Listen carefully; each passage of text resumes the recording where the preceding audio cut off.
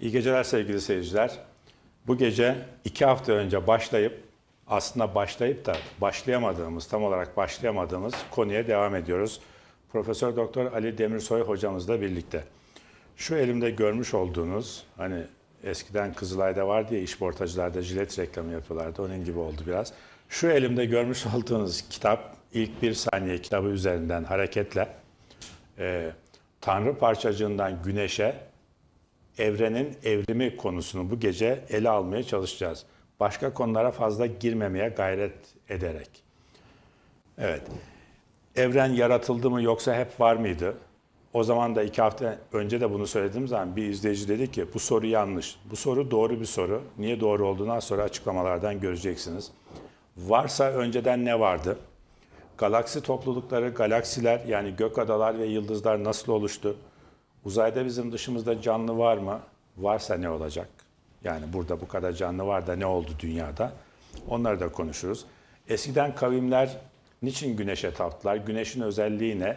Ee, yani bir yıldız olmasının ötesinde insanların toplumsal yaşamı açısından, dini inanç yapıları açısından önemine niye ona taptılar?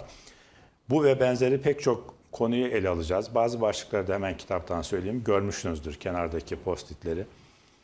Bu kitap bir kere niye yazıldı? Yani bir biyolog ve zoolog var karşımızda. Türkiye'nin en önemli insanlarından birisi, bilim insanlarından birisi astronomi kitabı yazmış.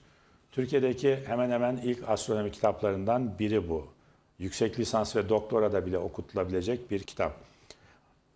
İnsanın doğası nedir? Geçmişteki evren algısı, Kopernik ve Galile'den sonraki evren algısı ne oldu? Einstein döneminde ne oldu? İzafiyet teorisi ve özellikle izafiyete yani görelilik ilkesinden sonraki insanın algısı, algısal boyutu ne oldu? Neleri nasıl algılıyoruz? Büyük patlama Big Bang, evrenin oluşumu, evrendeki mikro ve makro yapılar, bunların özellikleri neler?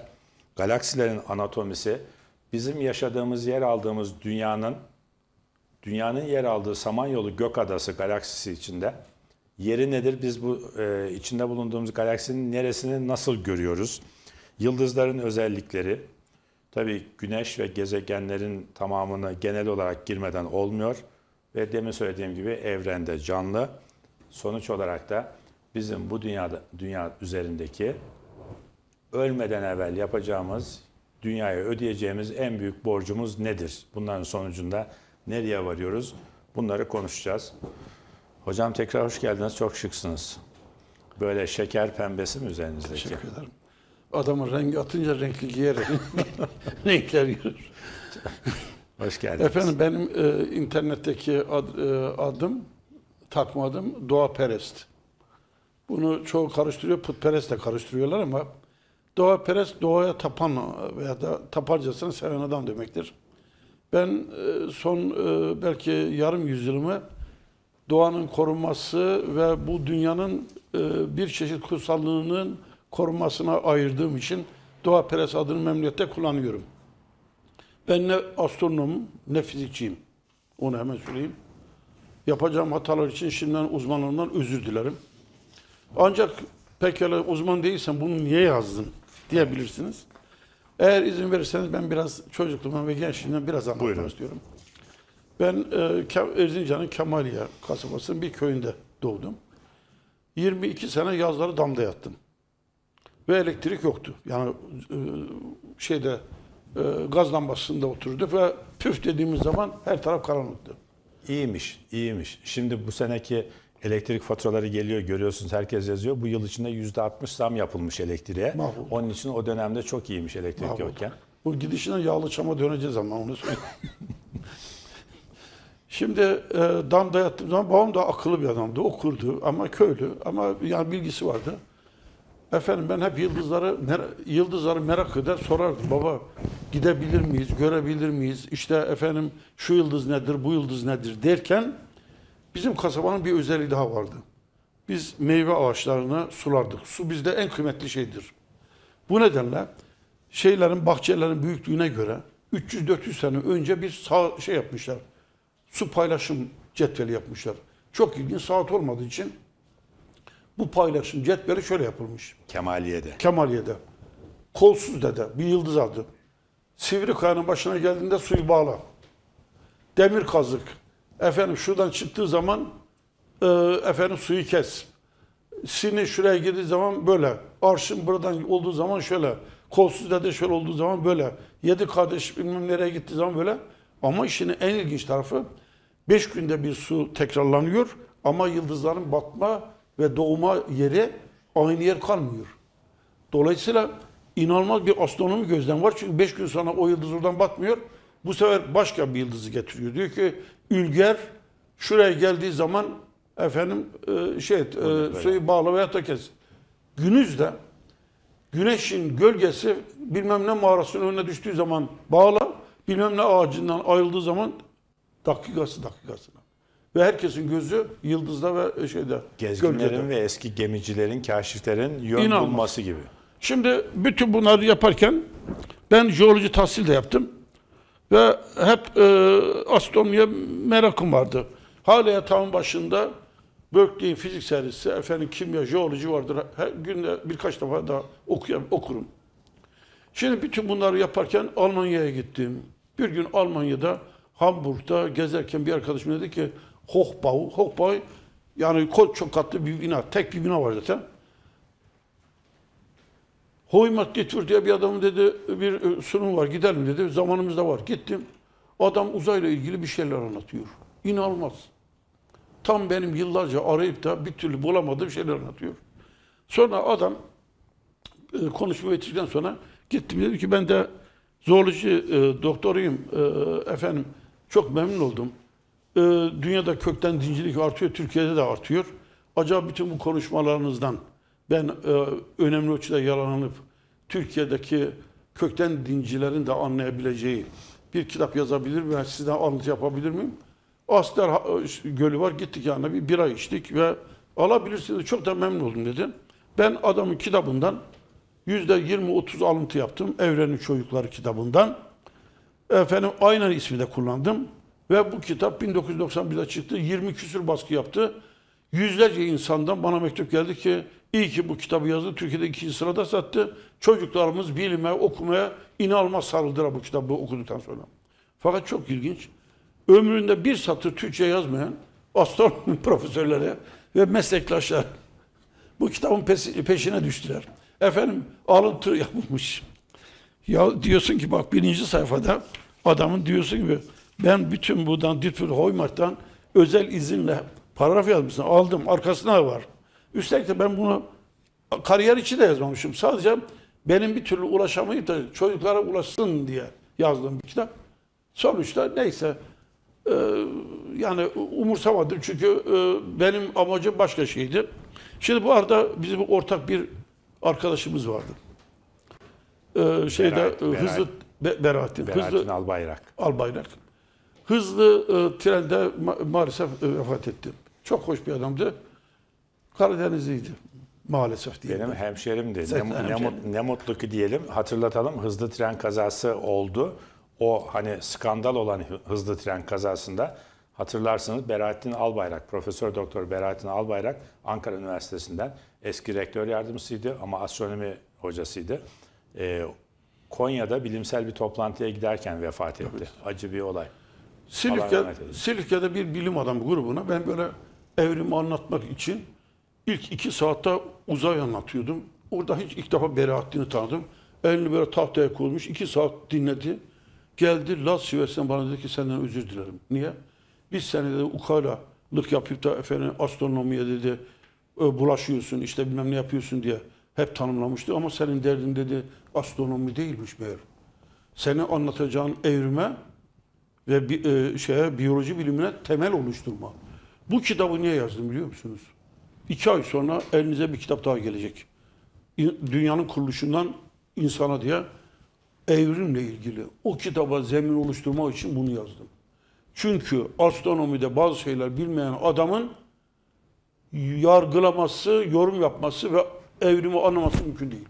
Dolayısıyla bu kitap esasında bir ön kitaptır onu söyleyeyim.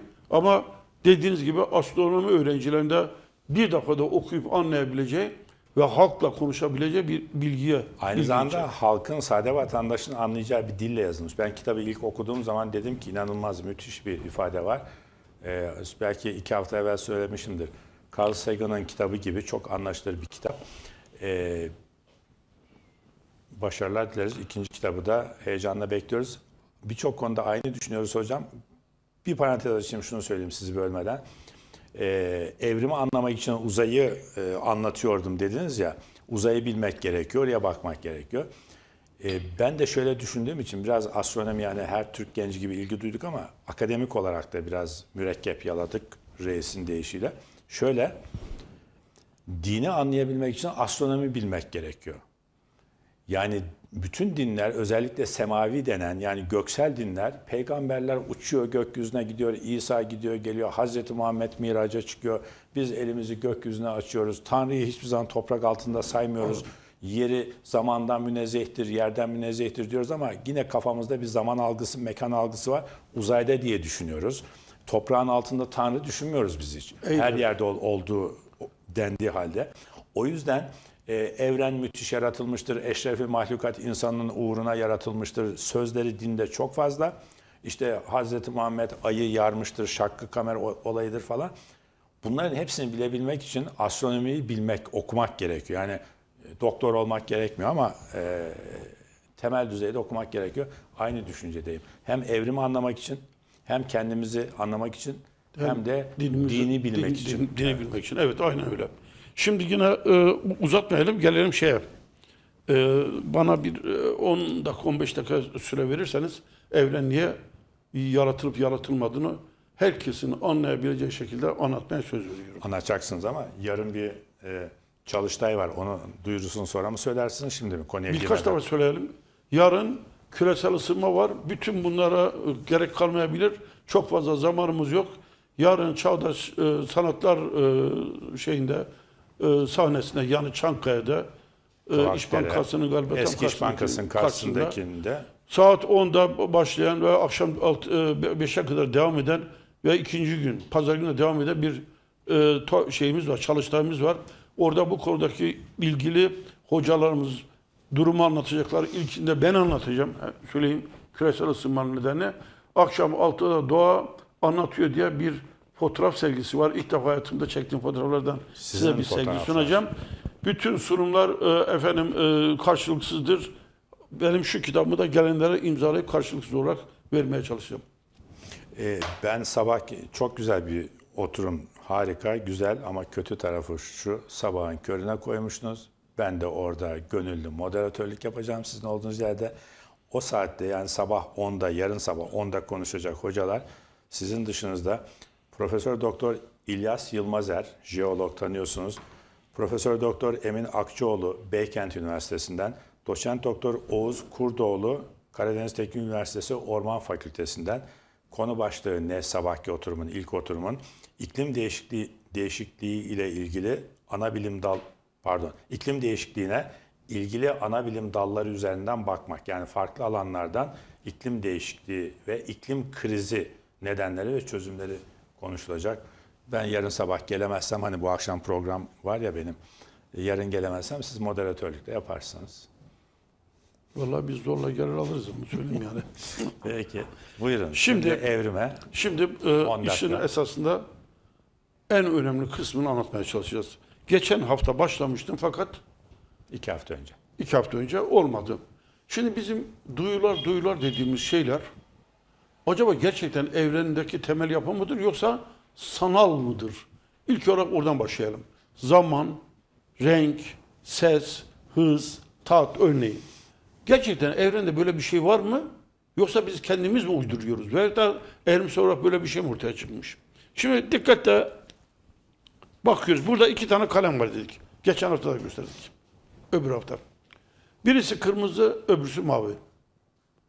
Pekala siz uzayda herhangi bir adama bunu gösterseniz, derseniz ki bana kırmızıyı tarif et, edebilir mi? Mümkün değil. Çünkü neden biliyor musunuz? Bundan 4.7 milyon yıl önce dünyaya 3 tane ışın çok fazla geliyor. Mavi, yeşil, kırmızı. Bu nedenle bizim gözümüzde 3 tane sadece reseptör var. Yani 3 farklı rengi alabiliyoruz. Dalga boylarını. Diğerlerini görmediğimiz için alamıyoruz. Şimdi demek ki renk dalgaların bir çeşit günlük yaşamımızı kolaylaştırmak için sanal olarak ortaya konduğumuz bir tanımdır. Geçen hafta yine yaptık. Bakın buraya ince geldi. Buraya tok geldi. 20 bin defa titrerse bas, 40 bin defa titrerse tiz ses. Evrende herhangi bir ses var mı? Yok. Ama 20 bin ile 40 bin titreşimi maddenin ben onu bas veyahut da tiz olarak alıyorum. Örneğin sıcak diyoruz. Elime attık sıcak. Sıcak diye bir şey yok ki. Sıcak soğuk diye. Orada belli bir elektron hareketi var. Bu elektron hareketi veyahut da moleküler bir hareket o ısıyı veriyor. Ekşi diyorum. Ekşi diye kimseye ben tarif edemem. Uzaylı çıksa karşımıza diyorsunuz. Ancak hidrojen e, şeylerin, iyonlarının derişimini biz ekşi olarak tanımlarız. Şimdi buraya kadar sorun yok. Demek ki bizim duyularımızda bir sanallık var. Şimdi acaba zamanda da e, böyle bir şey var mı? Esas sorun orada. En çok dünyada sorulan ve cevabı hiçbir zaman doğru düz verilemeyen şey şudur. Evren ne zaman yaratıldı? Daha önce bir şey var mıydı? Sonra ne olacak? Daha sonra ne olacak? Bugüne kadar her adamın sorup da alamadığı cevabı biz burada bugün bilinen bilim içerisinde bakın bugün bilinen bilim çok içerisinde vermeye çalışacağız. Yarın başka şeyler bile olursa onu biz değiştirebiliriz. Bilim her zaman değişmeye açıktır ama şu anda insanoğlunun ulaştığı bilgiyi bugün ben basitleştirerek anlatmaya çalışacağım size. Şimdi 1920 yıllarına gelindiğinde birileri diyorlar, birileri diyor ki niye bir işin birinin bir şeyin başı ve sonu olsun? Böyle bir şey olamaz. Renk gibi, tat gibi, ses gibi sanal sakın olmasın. Fakat hemen burada bir parantez açıyorum. Şimdi insanoğlu doğuyor. Doğumu kimse hatırlamaz ama başka birine gözüyor. Diyor ki ben doğduğuma göre bir şeyin başı olmalıdır. Hiç kimse ölümü tatmamıştır ama ölümü başka birine gözlemiştir. Ben öldüğüme göre diyor her şeyin bir sonu olmalıdır. Kıyamet, halbuki kıyamet yaşamamış. Bilmem kaç dil, dinde kıyamet öyküsü efendim tarif edilmiş. Pekala niye bir şeyin başı ve sonu olsun? Bu sanal bir duygu. Çünkü ben her şeye bir baş ve bir son koyuyorum. Niye her şeyin bir başı ve sonu olsun? Bu sanal bir duygu. Ama günümüzde olayların birbirinden ilintilerini doğru oturtturabilmemiz için bir zaman tablosu koyuyoruz ve biz bunu bu skalayı evrensel bir tablo olarak düşünüyoruz. Ve zamanın hiç değişmez olduğunu çok yakın zamana kadar bildik. Halbuki 1920'de Einstein iki şey yaptı. Bir, ışık hızına ulaştığımız zaman zamanın durduğunu, örneğin siz saniyede 298 bin kilometre süratle gittiğinizde normalde dünyada geçen zamanın ancak yarısını yaşayabiliyorsunuz. Zamanı geçiyor. Eğer siz çok yoğun bir e, ortama girerseniz kütlesi yüksek olan bir yere zaman duruyor. Her ikisi de ispat edildi mi? Edildi.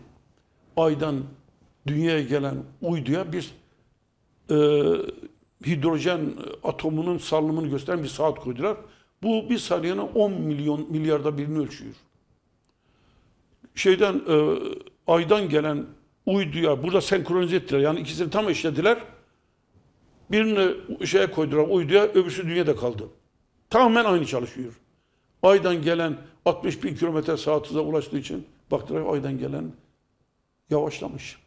Onu 300 bin kilometreye çıkardığın zaman zaman şey diyor sıfırlanmıyor. Kütlesi çok olan yerlerde saatin yine yavaşladığı anlaşıldı. Yani şeyin e, Einstein'ın 1927'deki bütün bu öngörüleri doğruydu. Şimdi e, 1976 yılına gelince Higgs dediğimiz bir adam bir e, şeyle Amerikan'la beraber bir makale yazdı.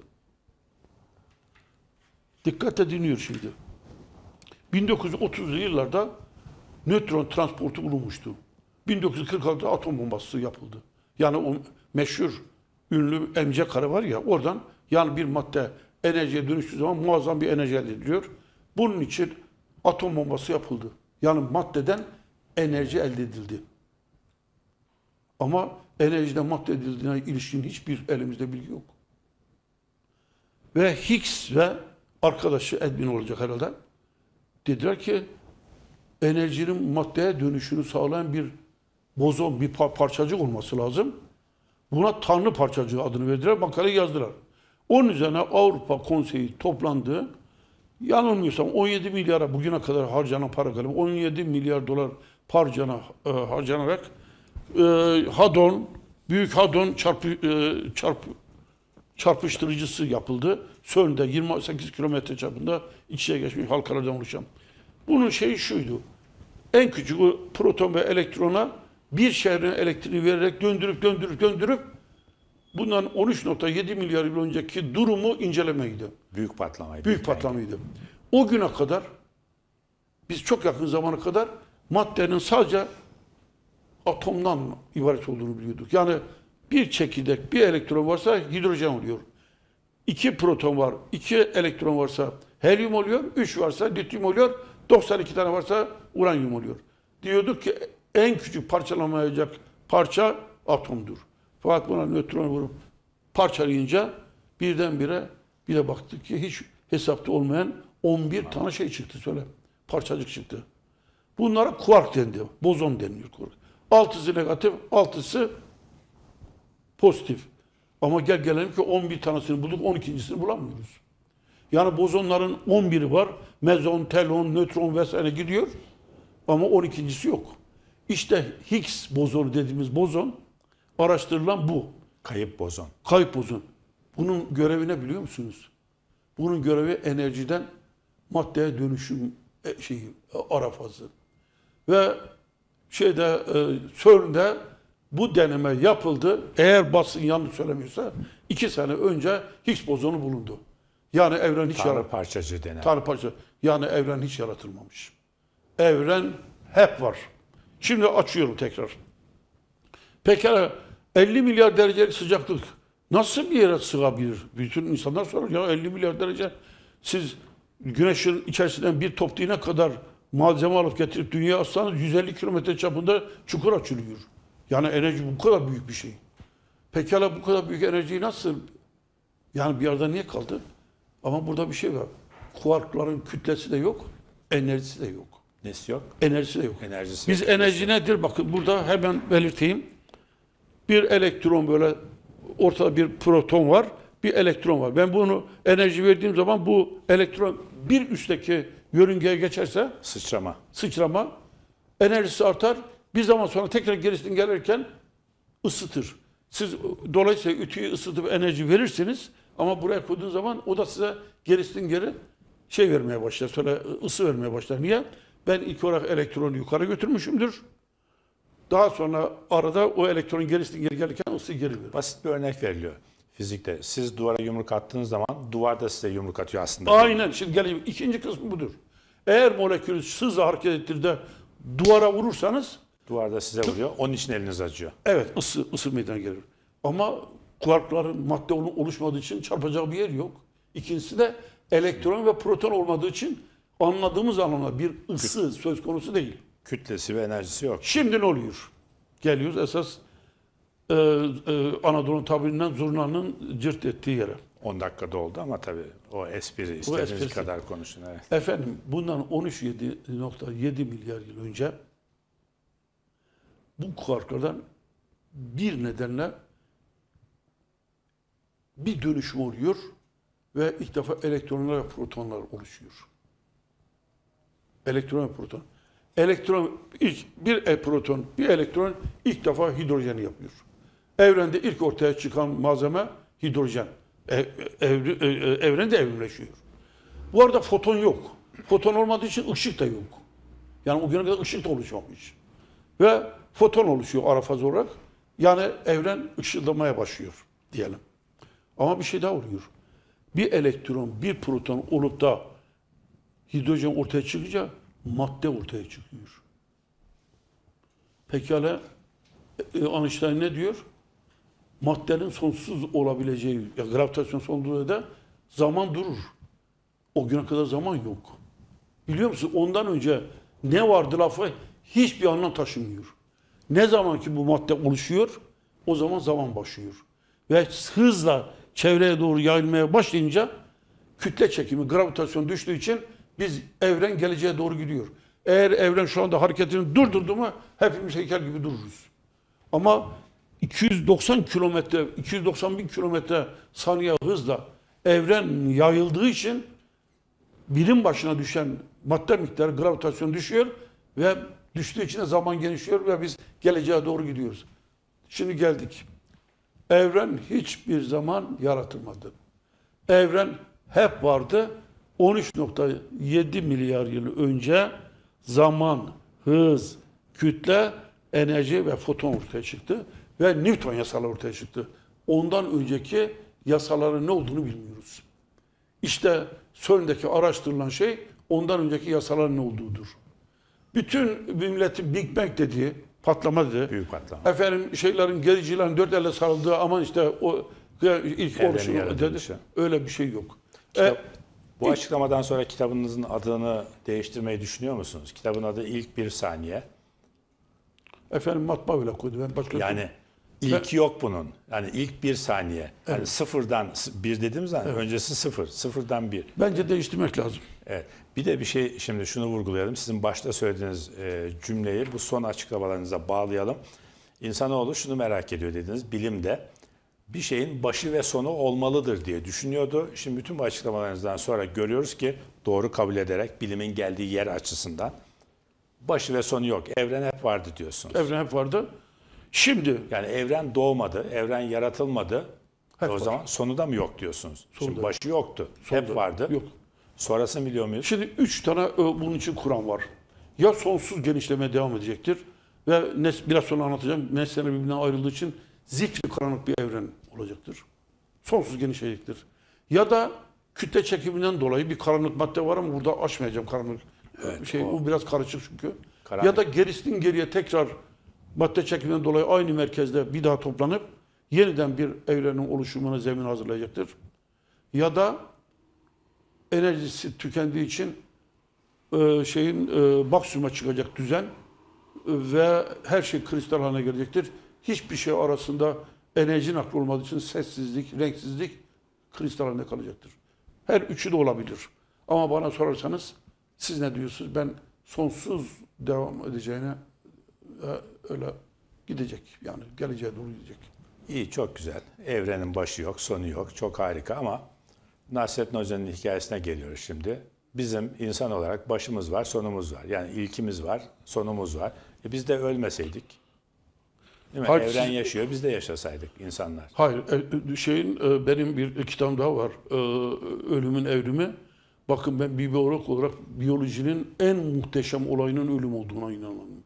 Öyle yazdınız. Eğer ölüm olmasaydı Hulki Cevizoğlu olmazdı. En fazla olsak olsak yassı solucan olurduk. Biz ölüyoruz ki yeni özellikler kazanmış canlılar yeni özelliklerinden bu dünya ayak bassın ve evrimleşme devam etsin.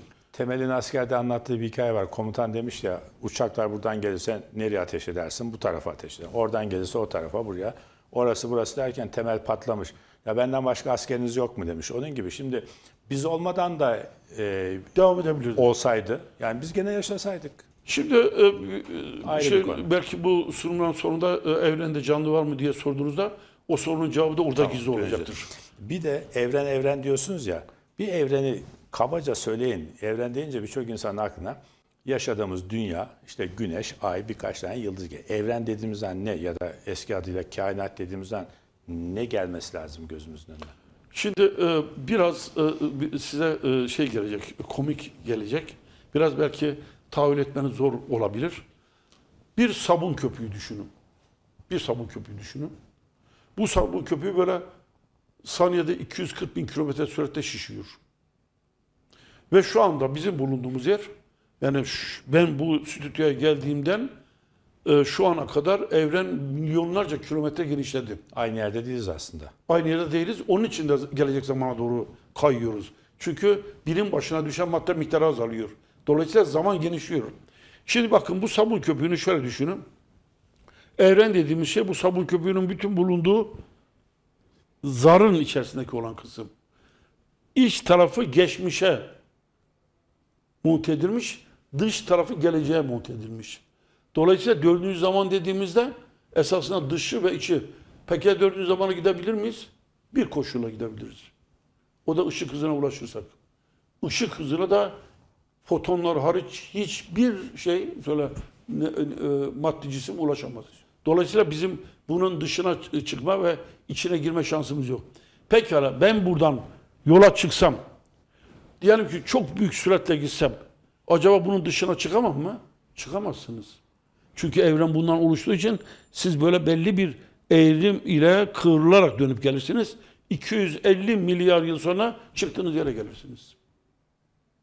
Bunun içi geçmişe dışı e, geleceğe monte edilmiştir. Siz bu zarfın içerisindesiniz. Hapsedildik. Hapsedilmişsiniz. Onun için E, Stephen Hawking de öyle diyor zaten kitabının adı. Ceviz kabuğundaki Evren isimli kitabında diyor ki bir ceviz kabuğunun içine girip hapsolabilirdim diyor. İşte bu balon dediğiniz şey aynı.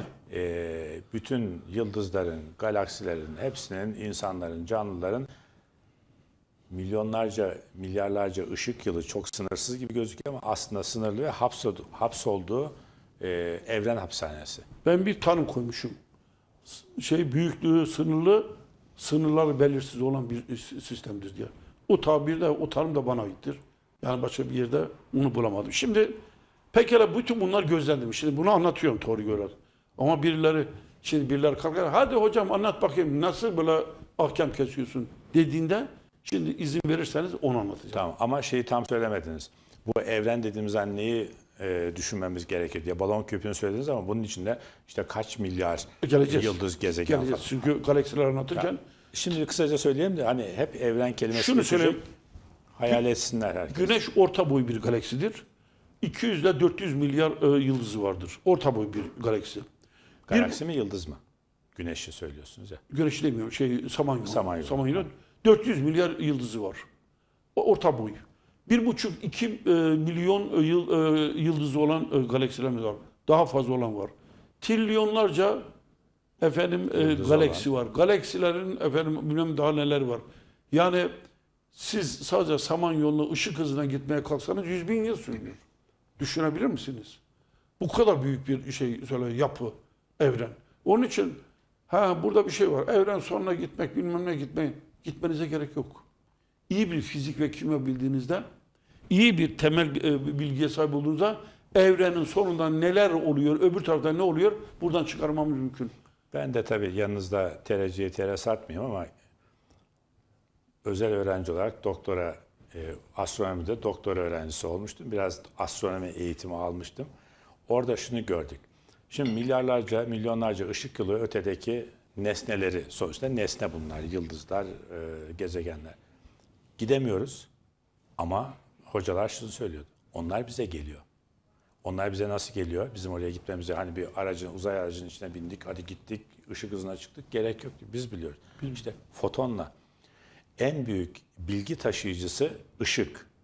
Hayatın kaynağı da ışık. Ee, bize uzaydan gelen teleskoplarla baktığımız, yakaladığımız ışık içinde bilgiler var. Mesela gezegenlerin tayfları var. Şimdi anlatacağım. Girme Tamam. oraya, tamam, anlatacağım. Tamam, hadi bakalım. Şimdi e, din e, kitaplarının hemen hemen hepsi evreni saat gibi tıkır tıkır işleyen sabit bir mekanizma olarak düşünüyordu. Ve bunun dışarısında düşünenleri de esasında yargılıyordu.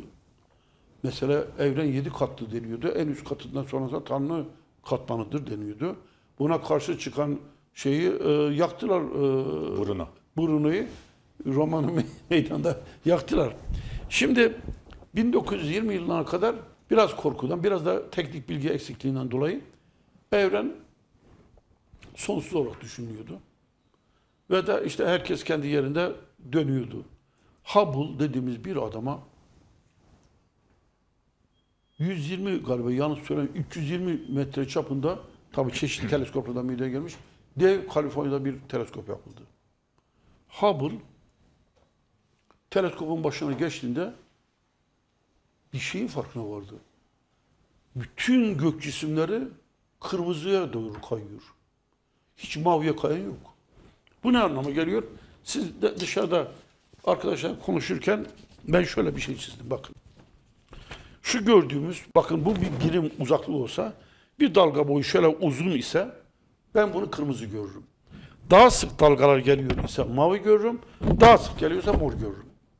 Şimdi ben bu, bu arabanın üzerinde, arabanın üzerinde ileriye doğru gittiğimde arabanın hızı, bir de buradaki şeyin hızı, e, dalganın hızı, buradaki bir adam gözlerken hem arabanın hızından dolayı hem de bunun dalgalarını iki misli alacağı için diyecek ki bu ışık mavi. Eğer bu araba gerisin geri giderse şuradaki mavi bu sefer kırmızı görecek çünkü birim zamanda gelen dalgaların sayısı azalacak. Şimdi bu ne diyor demektir biliyor musunuz? Her şey boş demek. Güneş bir yıldız, bir bildiğimiz bir ışığı çıkarıyor. Eğer bu yıldız bana doğru gelirse, hızla gelirse dalgaları daha fazla alacağım için ya bunu mor göreceğim ya da mavi göreceğim. Ama benden uzaklaşıp gidiyor ise Kırmızı onu göreceğiz. kırmızı göreceğim. Buna Doppler efekti diyoruz. Ve de hangi yıldızın hangi kilometre süratle bizden uzaklaştığını biz e, te- tespit edebiliyoruz. Hubble diyor ki bütün şeyler gök cisimleri hem birbirlerinin içerisinde hem de bizden hızla uzaklaşıyor. En hızlı gidenler 250, 240 bin, 290 bin kilometre hızla kuazarlar. Ona evrenin sınırları diyor. En hızlı gidenler. Gittikçe birbirlerinden ayrılıyorlar. Ayrılınca gelen ışık kırmızıya düşüyor. Ha diyor. Bunların hızlar birbirine e, karşılaştırmasıyla bir de bakıyor ortada bir yerden ayrılmışlar. Ama o güne kadar hep evren sonsuzdu. Einstein bir hesap yapıyor, evren hep sonlu çıkıyor. Einstein hesap yapıyor, sonlu çıkıyor. Kendisi Musevi, efendim benim dinime aykırı olmasın diye getiriyor içerisine evrensel katsayılar diye bir rakam atıyor. Diyor ki evrensel katsayılardır ve evreni sonsuz yapıyor. Einstein. Einstein. Ama Hubble'ın bu şeyi bulunca e, şey Einstein sessiz sedasız buradaki evrensel katsayıları dışarı alıyor. Bir de bu yapıyor. Hesaplar doğru. Yani evren sınırlı, büyüklüğü sınırlı ama sınırlar belirsiz. Hubble diyor ki 13.7 milyar yıl önce evren bir noktadan dağılmaya başladı. Biz buna işte Big Bang diyoruz. Big Bang.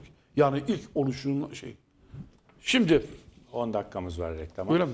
Ee, şimdi tabii Einstein'ın bu e, kuramı arasına da dini kattık, katıp e, ortaya çıkardığı kuram yıkıldığı zaman herhalde Einstein işte tam o sırada kendisini çapkınlıklara adamıştı. Şöyle Te- bir şey te- yapıyor. teorisi- Einstein, Einstein odasına giriyormuş. Günlerce çıkmıyormuş. Ya acaba yeni bir teori mi yazıyor diyor. Sık sık e, bir gün bir gözetlemişler ki porno film seyrediyormuş şeyde e, içeri girip. Çok Öyle- ayıp hocam. Şimdi Einstein'ın arkasından konuşmuş olduk ama kusura bakmasın onda çok katkıları var tabii astronomiye, bilime. Herhalde öyle. Şimdi pekala o zaman o zaman toparlıyoruz. 13.7 milyar yıl önce 11'i daha önce bilinen, 12'si de e, CERN'de tespit edilen, 6'sı pozitif, 6'sı negatif yani simetri oluşturan bozon veyahut da kuark neyse fermiyon diyoruz, e, lepton diyoruz. Bunların atom olarak organize olması, elektron ve proton olarak organize olmasıyla ilk defa madde evren ortaya çıkıyor. Madde evrenin ortaya çıkması zamanı başlatıyor. Foton ara faz olarak foton çıkıyor, ışık ortaya çıkıyor, zaman ortaya çıkıyor, madde ortaya çıktığı için enerjinin bir yerinden öbürüne nakli ortaya çıkıyor. 100 milyon yıl içerisinde bizim fazla bir bilgimiz yok. Bir karanlık evre var. 100 milyon yıl sonra bu dağılım muhtemelen çok da homojen olmadığı için bazı malzemeler bir yerlere daha fazla gidince ilk defa galaksi adaları. Onların içerisinde daha sonra Oraya galaksiler- geleceğiz galaksilere daha sonra. Ama şu söyledikleriniz üzerinde birkaç noktayı açalım mı bu reklam öncesi? Enerjinin maddeye dönüşümü deneniyor ya. Evet. Enerjinin maddeye dönüşümü. Maddenin enerjiye dönüştüğünü herkes biliyor ama Atom. bir de enerjinin sakınımı kanunu var değil mi? Hiçbir madde yani e, Evet. enerji maddeler yok olmuyor, enerjiye dönüşüyor. Değil mi? E, Ya, evrende hiçbir şey, şey olmaz. Boğaz yanı hiçbir şey yok olmuyor. Ya madde. diyor. Şimdi siz- Şekil değiştiriyor.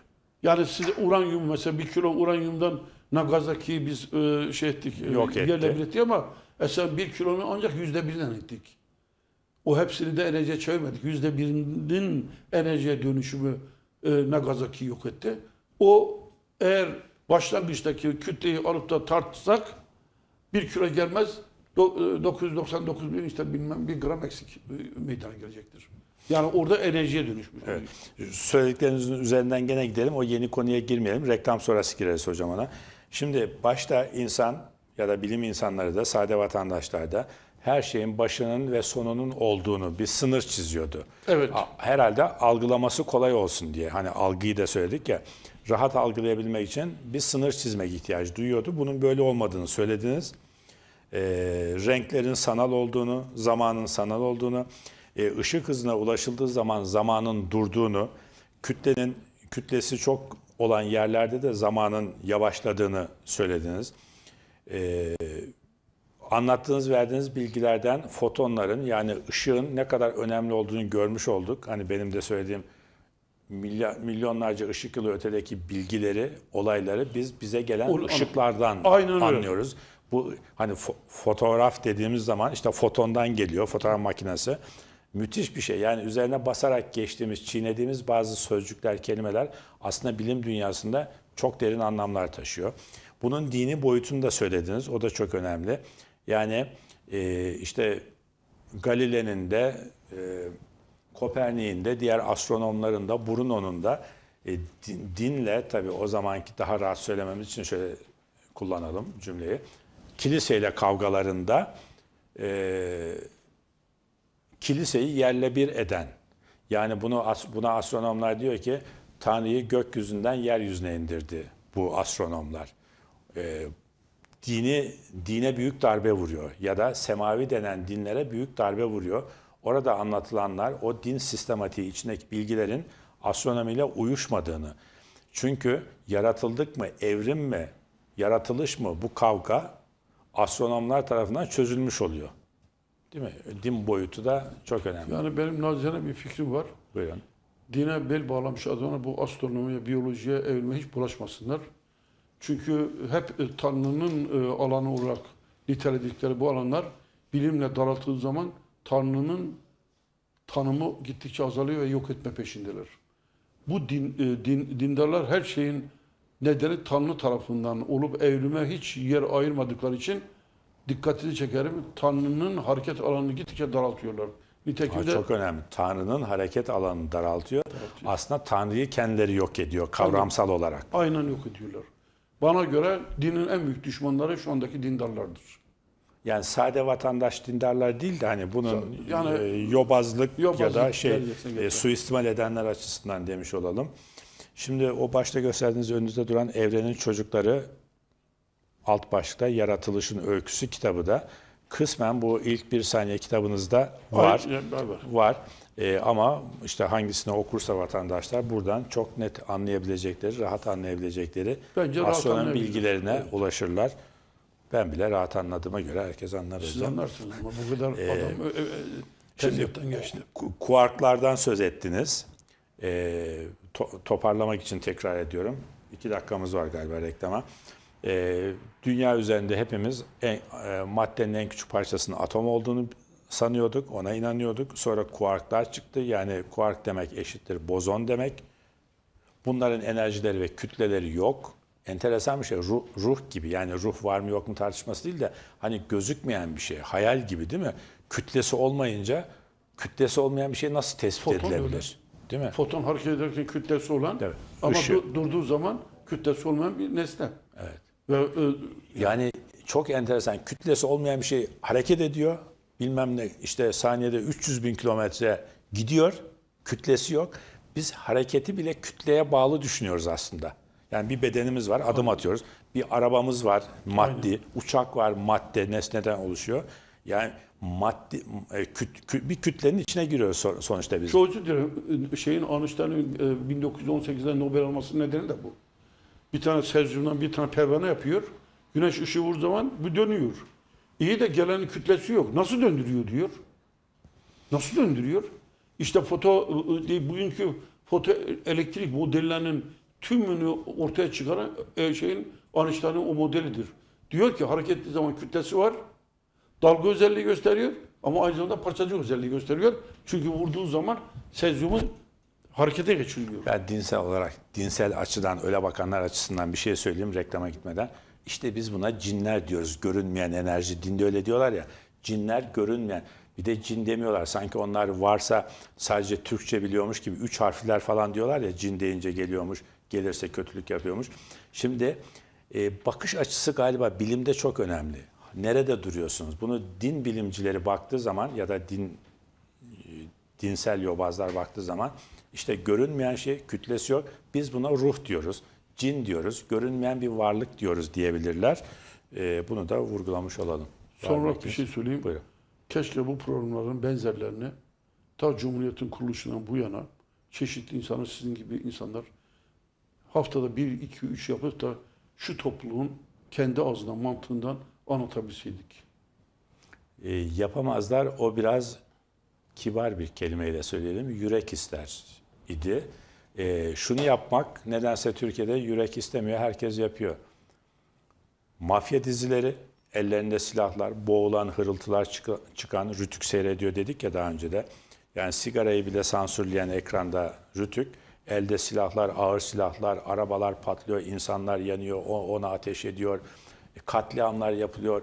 Ee, izleyiciler bu görüşte olmayan izleyiciler bana şöyle bir eleştiri getirebilir. E peki sen bunlara karşısında nereden biliyorsun? Ben bir televizyoncuyum. Her şeyden, televizyonda olan her şeyden haberim olması lazım ve oluyor. Dün akşam baktım. Aynı anda birkaç kanal seyrediyorum. Öyle sahneler var ki yani burada dille anlatılamaz. Orada yayınlanan, rating şampiyonu olan dizilerdekini ben burada anlatsam Rütük ceza verir. Ama orada yayınlanıyor ve kimsenin gıkı çıkmıyor. Ya burada işte hani dediniz ya Cumhuriyet'ten beri bu konular konuşulabilseydi keşke aydınlanmaya katkısı olsaydı. Tamam çok güzel de aydınlanmaya değil ama karanlanmaya, karanlığa gidişe müthiş katkı ve destek var. Az sonra buradayız. Var mısın bir bunun tersi? Sevgili seyirciler, tekrar birlikteyiz. Programın reklam öncesi bölümünde hocamızın son dakikada söylediği sözün ne kadar yayına gitti gitmedi diye konuşurken sadece ilk iki kelimenin gittiğini tespit ettik. Ee, ne diyordunuz? Bir de bunun önerim Bunun tam var tersi demiştiniz. olan yani bilme dayalı değil de öbür işlere dayalı bir anlatımını yapsak acaba reyting nasıl yükselir diye bir e, bu halkın e, genel eğilimini ve şu andaki bakış açısını anlama bakımından da iyi olabilir. Be- Bizim benim de sonum olur tabii bilimsel olarak. eşit olur galiba rating.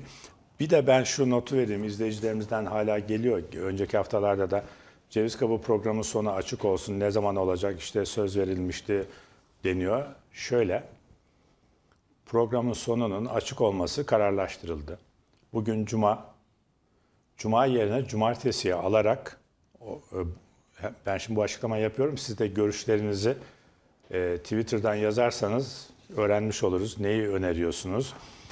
E, pro- programın arkasının açık, süresinin uzun olması için Cuma'dan cumartesi alınmasını kabul ediyor musunuz? Saat 21 yerine 22'de başlamasını kabul ediyor musunuz? Aklınıza başka bir fikir mi geliyor? Onu Twitter'dan yazarsanız mutlu oluruz. Şu anda programı cumartesiye kaydırıp 21'de de başlama, 22'de de başlama imkanımız oldu. Ama e, bir iki hafta daha bekleyeceğiz. Çünkü hafta sonları başka organizasyon verilmiş sözlerimiz vardı. O yüzden cumartesi alıp başlayamıyoruz. İşte yarın sabahta program başında söyledik. Hocamızın da katılacağı önemli bir çalıştayda e, yer alacağız biz de. Ama iki hafta sonrası yani iki program sonrası ceviz kabuğunun arkası açık, süre sınırsız. Yani hocamın az önce verdiği astronomi bilgilerine göre başı ve sonu olmayan bir program şekline dönüşebilecek. Bu konudaki görüşlerinizi bekliyoruz. Bu sizin için de bir bizim için de bir müjde niteliği taşıyor herhalde. Ne oldu hocam? Öyle baktınız dalgın dalgın. Açık olmasın mı sonu?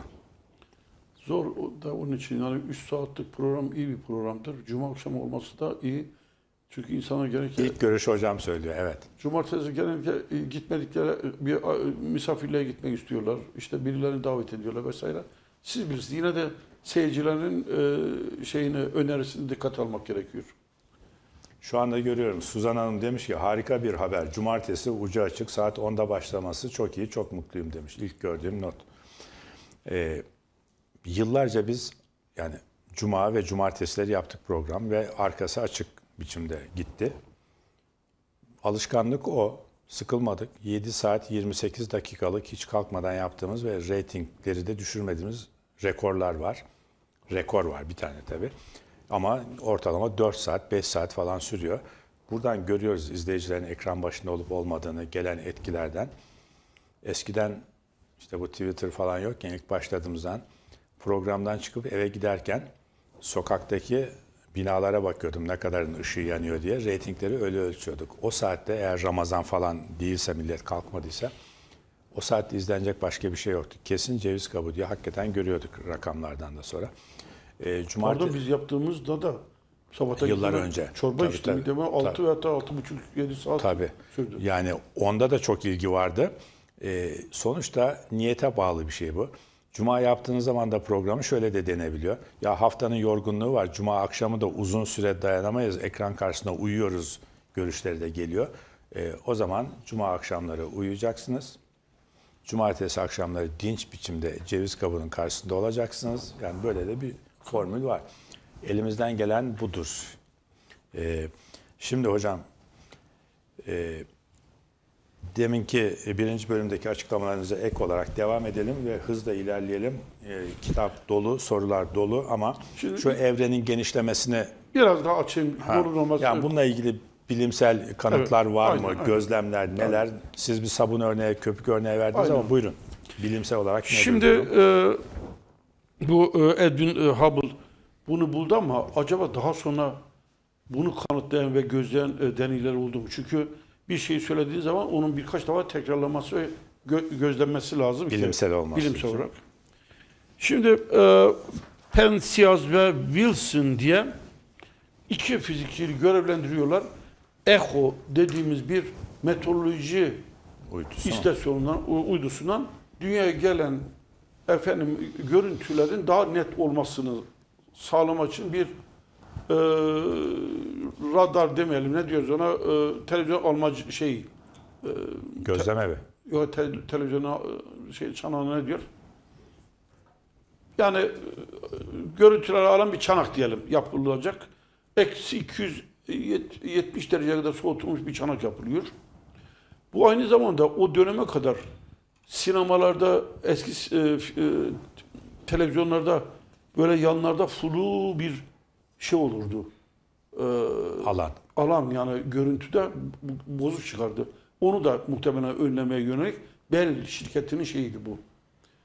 Bunları yapıyorlar fakat nereye çevirirseniz çevirin aletten bir uğultu sesi geliyor. Yani görüntüyü kesiyorlar ama bir uğultu sesi var.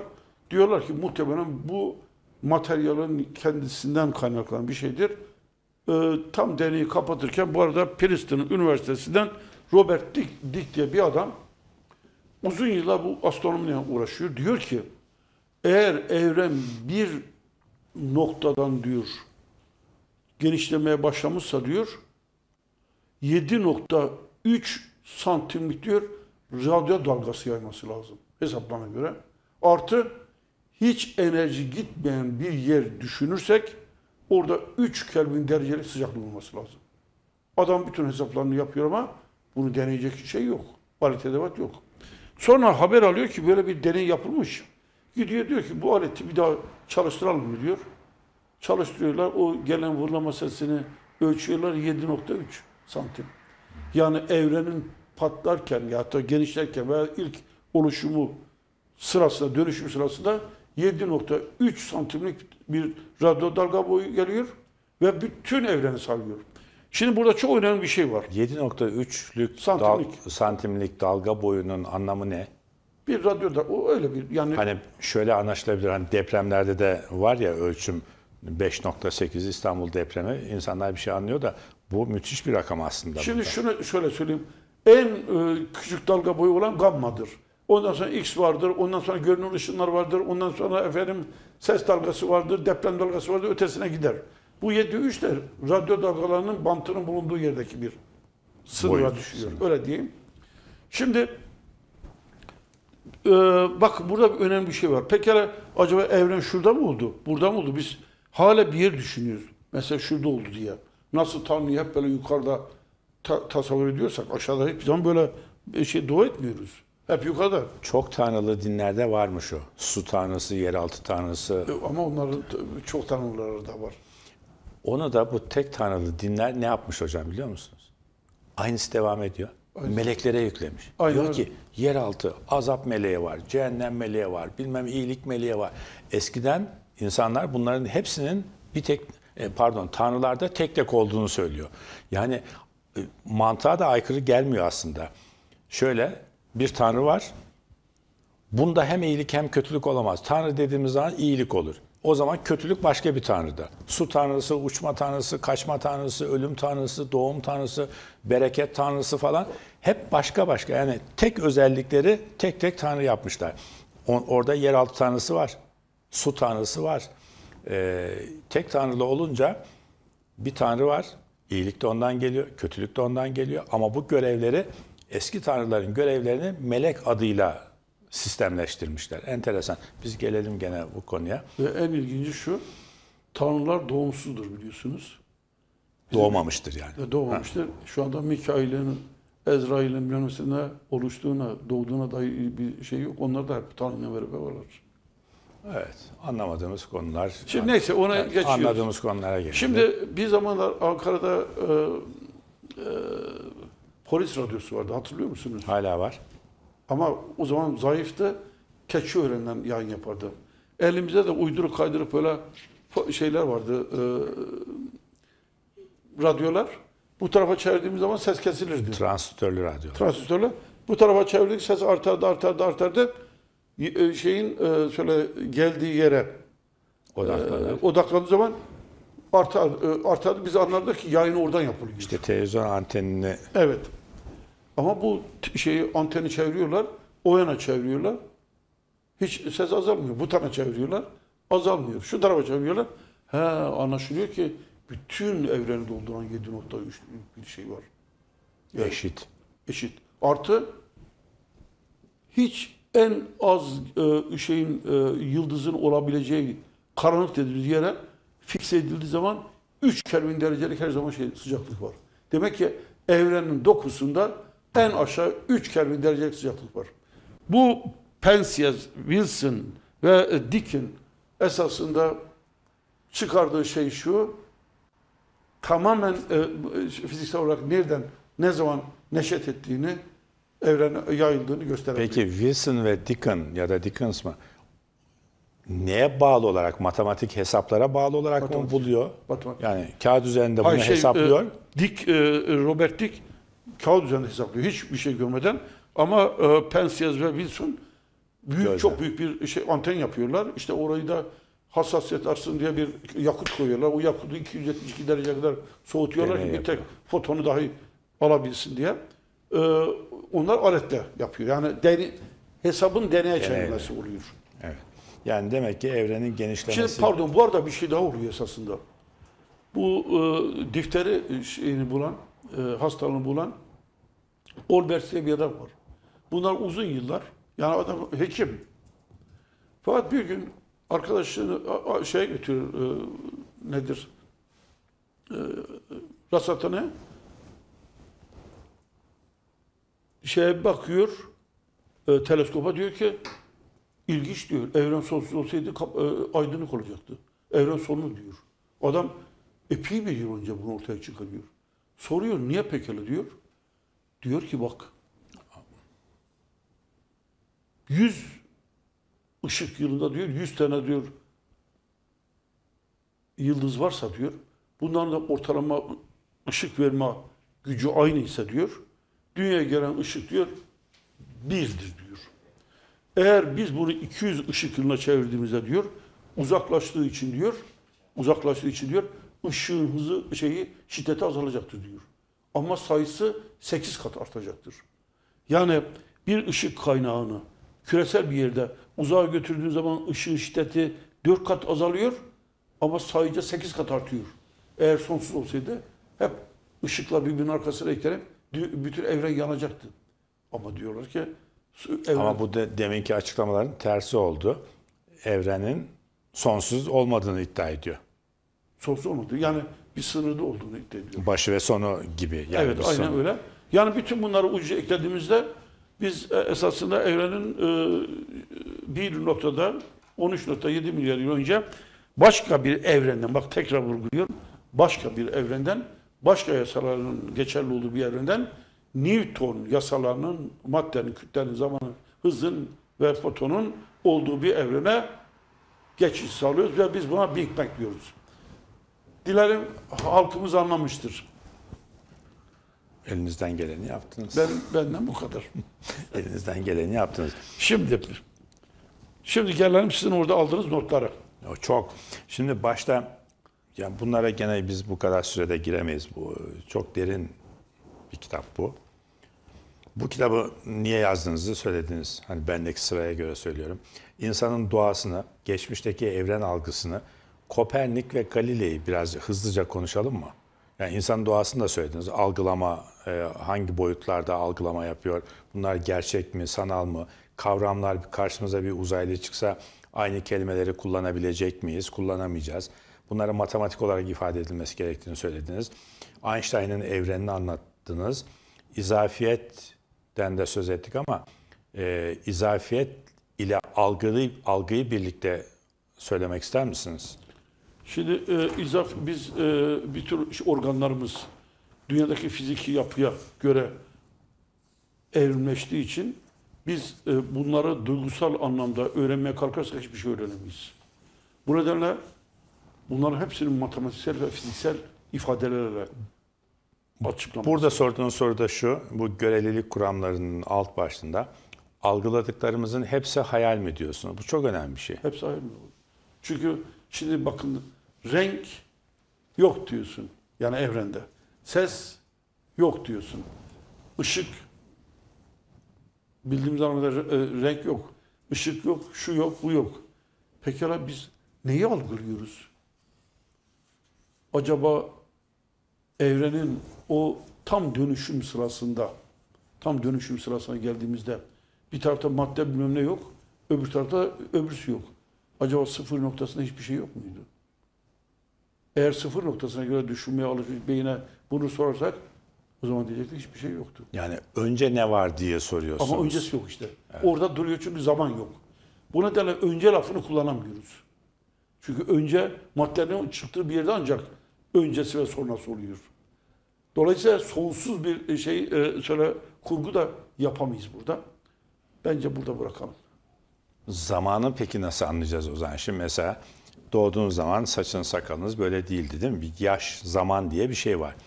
Onu nasıl anlamamız gerekiyor? Her şey hayal, e, öncesi yok.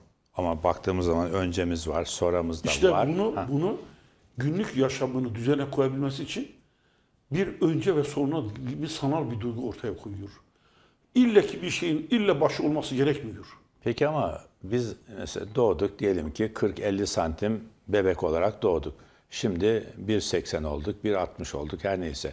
Yani fark yok mu? İşte fark var. E var fark Yani olacak. önce Ama evrende de fark var. Dedik ya bu stüdyoya geldiğim zaman evrenin yapısı buydu. Aynı Çıktığım yerde zaman, değiliz şimdi. Bakın her an mimarisini değiştiren bir evrende hiçbir düşüncenin, şu anda bizim anlattıklarımız da dahil olmak üzere, hiçbir düşüncenin, hiçbir şeyin sabit ve değişmez kaldığını iddia edemeyiz. Heraklitos'un dediği gibi aynı suda iki kere yıkanamazsın. İmkanı gibi. yok. Yalnız bunu dindarlar savunurlar. Hiç değişmeyen kuralların olduğunu söylerler. Evrimin bizatihi kendisi değişmeyi inceleyen kurallar dizisidir. Evrim bizzat değişmeyi inceleyen bir bilim dalıdır. Dolayısıyla evrimde bir şey yazılıysa yarın başka bir şeyin olacağını da e, orada e, vurgular. Yani değişim var ama başı sonu yok. Başı sonu yok. Çok zor anlaşılması gereken bir kavramsal açıklama olmuyor mu? E, kolay olsaydı beni buraya çağırmazdınız. Peki e, evrenin makro ve mikro yapılarını Kısaca. nedir? Evet kısaca rica Şimdi edelim. mikro yapısı e, aşağı yukarı kuarklar, işte leptonlar, bozonlar vesaire. Atomlar, Ona- atom altı. atomlar. Ona fazla konuştuk. e, girmenin bir şey yok. Ee, öbür türlü gelince şöyle diyeceğiz. Bizim bildiğimiz yani herkesin anlayabileceği galaksiden başlayalım. Gerçi galaksi kümeleri var ama galaksiler bir zaman büyük e, hidrojen materyalinin e, belli yerlerde yoğunlaşmasıyla kendi etrafında dönme buna açısal impuls diyoruz. Şimdi bir şey belki sorabilirsiniz. Niye bütün gök cisimleri dönüyor? Hiç böyle durmuyor. Evet, sorduk. Sordun Niye dönüyorlar? Niye soruyorsun? Sonra insanlar döndüğü zaman biz onlara e, Türkiye'de Dönek siyasal diyoruz. olarak dönek diyoruz. E, dünya dönüyor. Dünya dönüyor. Şimdi şunu söyleyeyim. Hiçbir şey aynı yerde kalmazken, evrimleşirken biz insanların düşüncelerini değiştirdiği zaman niye dönek diyoruz onlara? Ee, şunu söyleyeyim. Eğer çok hızlı yaşayıp da olması gerekenden daha fazla bir şeyler elde etmişseniz bir yerlerde duracağınız zaman dönmek zorundasınız. Neden dönmek zorundasınız? Şimdi anlatacağım. Şimdi bu gaz, siz yorumunu yaparsınız. Gaz kütlesi çok büyük bir şey e, alanı kaplıyor. Ama zaman içerisinde kütle çekiminden dolayı ortaya doğru yoğunlaşmaya başlayınca buna açısal momentumun korunması deniyor. Nereden anlıyoruz? Bir buz patencisi, bakın dikkatle dinleyin. Buz patencisi buzun üstüne giderken böyle ellerini açar. Dikkatle e, anımsayın. Açar, tam ortaya geldiği zaman ellerini böyle yapar, bir de başta etrafına dönmeye başlar. Balerin de. Balerin böyle. Ama hiçbir zaman ayağını koyup da döndürmez. Ellerini açtıktan sonra yarı çap küçüldüğü zaman açısal momentum fiziksel olarak için kendi etrafına dönmesi lazım. Bu nedenle bütün gezegenler, bütün yıldızlar, bütün galaksiler uzun çaptan yavaş yavaş büzülmeye başladıkları zaman kendi etrafına dönmeye başlarlar. Uzun dönekler de öyledir. Çok hızlı yaşarken. Siyasal dönekler. Siyasal dönekler. Çok hızlı yaşanan birdenbire durunca önüne bir şey tak diye öbür tarafa dönüyor. Var olabilmek için. Var olabilmek için. E var olmak ölmekten daha iyi değil mi yani? Yok. Bence bir insan onurla yaşayıp onurla ölmelidir. O zaman bu gezegenler çok Yani eğer onursuz insanın, dönüyorlar. eğer insan tanımını doğru yaparsak. Şimdi bu bana şeyi hatırlattı. Rahmetli Erdal İnönü, fizik profesörü ya, politikaya atıldıktan sonra, genel başkan olduktan sonra ya gidiyorum işte o ilçede, o, o ilde taraftarlar beni omuzlara alıyorlar. Siyasette pek sevmiyordu ya.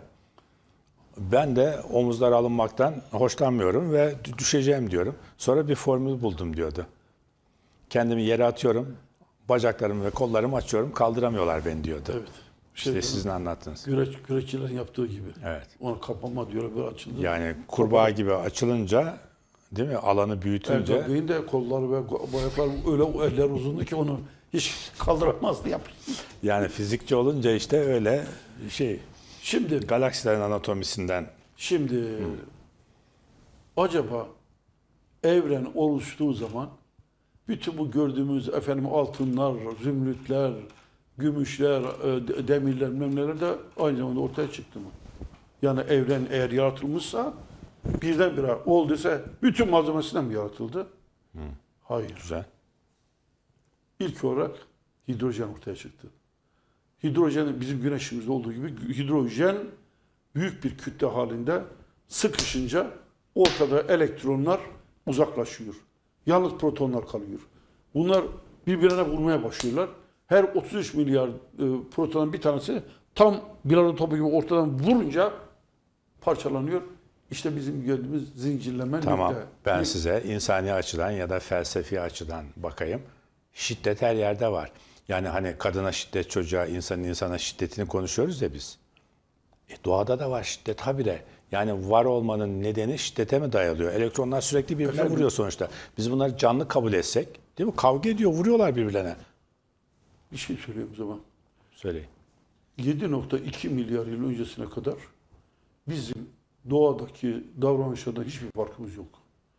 Parçalıyoruz da, yaşlımızı yolda da bırakıyoruz, kucağımızı da almıyoruz, şunu da yapıyoruz, bunu yapıyoruz. Ama sosyallaşma diye bir şey var. İnsanı insan yapan iki önemli özelliği var. Birisi merak etme, öbürsü empati. Ya iki hafta evvel sosyologlara kızıyordunuz. Hulki kızacak sosyolog diye ama şimdi evet sosyalleşme. Allah aşkına şimdi şu sosyoloji bölümüne gidersen sosyolojide empati yok. Yani şimdi söylettirmeyin. Var var konuşuruz onları. Zamanınızı çalmayayım var Şimdi olmaz. bakın iki Ha. önemli özelliği var empati. Doğada hiçbir canlı öbür canlıya acımaz. Mesela şu yazıktır şu kuzuya. Biraz büyüsün ondan sonra yiyeyim demez kurt. Onu yer kurtulur. Yalnız başka birinin duyularından düşünme, yargılama insana özgüdür. Bir, ikincisi merak insana özgüdür. İki. Dolayısıyla eğer siz bir defa empati duygusunu elde etmiş iseniz evrimin en son kademesi olarak o sizin söylediğiniz hayvanlara benzeme özelliklerini daha gündeme getirmeyin. İnsansanız benimle konuşacaksınız. Eğer hayvansa ben zoologum. Zaten ben hayvanlarla e, doğru düz konuşuyorum. Bana insan özelliği taşıyan empati ve merak duygusu olan bir toplum gerekli. Ben onun peşindeyim. Empatisi olmayan bir toplumun hayvan toplumundan ne farkı olabilir ki? Ben soruyorum şimdi sosyolojide siz doktora yapmışsınız. Buyurun. Sorun. Empati, empatisi olmayan bir insan toplumunun hayvan sürüsünden ne farkı var? Şöyle cevap vereceğiz hocam. Kitlelerin de, toplulukların da, toplumların da zaman zaman empatisinin yükseldiği dönemler, çağlar oluyor. Dönemler diyelim, çağ demeyelim de olmadığı zaman da oluyor. Mesela kitle davranışlarına baktığımız zaman işte Kemal Kılıçdaroğlu örnekle açıklayalım. Sosyologlar genellikle örneklere bakarak teori üretiyorlar ama teoriyi ürettikten sonra kitaplara bakıyorsunuz örnek vermiyorlar. Örnek vermede çok şey e, cimriler. Ben örnek vererek e, sosyolojiden yanayım. Veriyor, veriyorum örneği. Şimdi Kemal Kılıçdaroğlu'na yapılan linç girişiminde o kitlelerin empati yapmadığını görüyoruz. Kadının biri bağırıyor değil mi görüntülerde? Yakalım diyor. Vuralım diyor teki. Geliyor bir çiftçi yumruk atıyor. Şimdi kitlelere bakıyorsunuz işte hayvan davranışı göstermiş oluyor değil mi? Bazen böyle oluyor. Sivas Madımak'ta Yok. Aziz Nesinleri yakmaya çalışanlarda da bir empati yok. Yakalım diyor. Herkes bağırıyor. İlahiler işte Tekbirler. tekbirler getiriyor falan filan. Ama yakalım diyor, öldürelim diyor. Şimdi orada empati yok. Ama ekranda gördüğümüz zaman bir küçük, küçük çocuğa yapılan bir cinsel suistimal konusunda bütün toplumda bir empati oluyor. Yapılır mı diyor.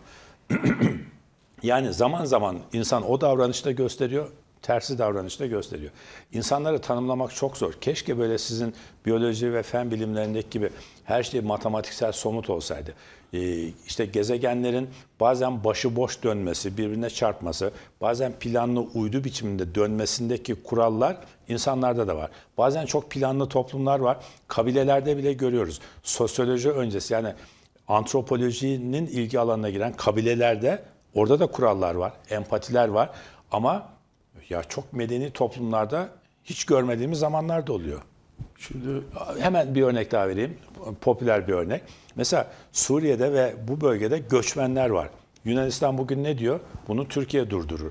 Yani dünyada sanki e, göçmenlerin insanlığın sorumlusu, insanlığı kurtaracak olan ülke tek başına Türkiye'ymiş gibi bütün bu yükü Türkiye'ye verelim. 4 milyon var, 2 milyon daha gelsin. Kardeşim insanlık görevi ise bu.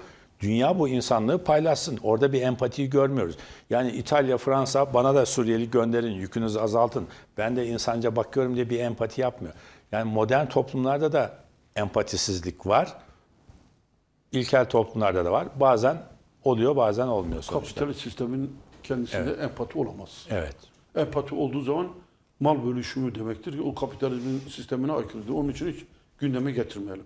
Yalnız bir tek ö, ö, küçük açıklama yapayım.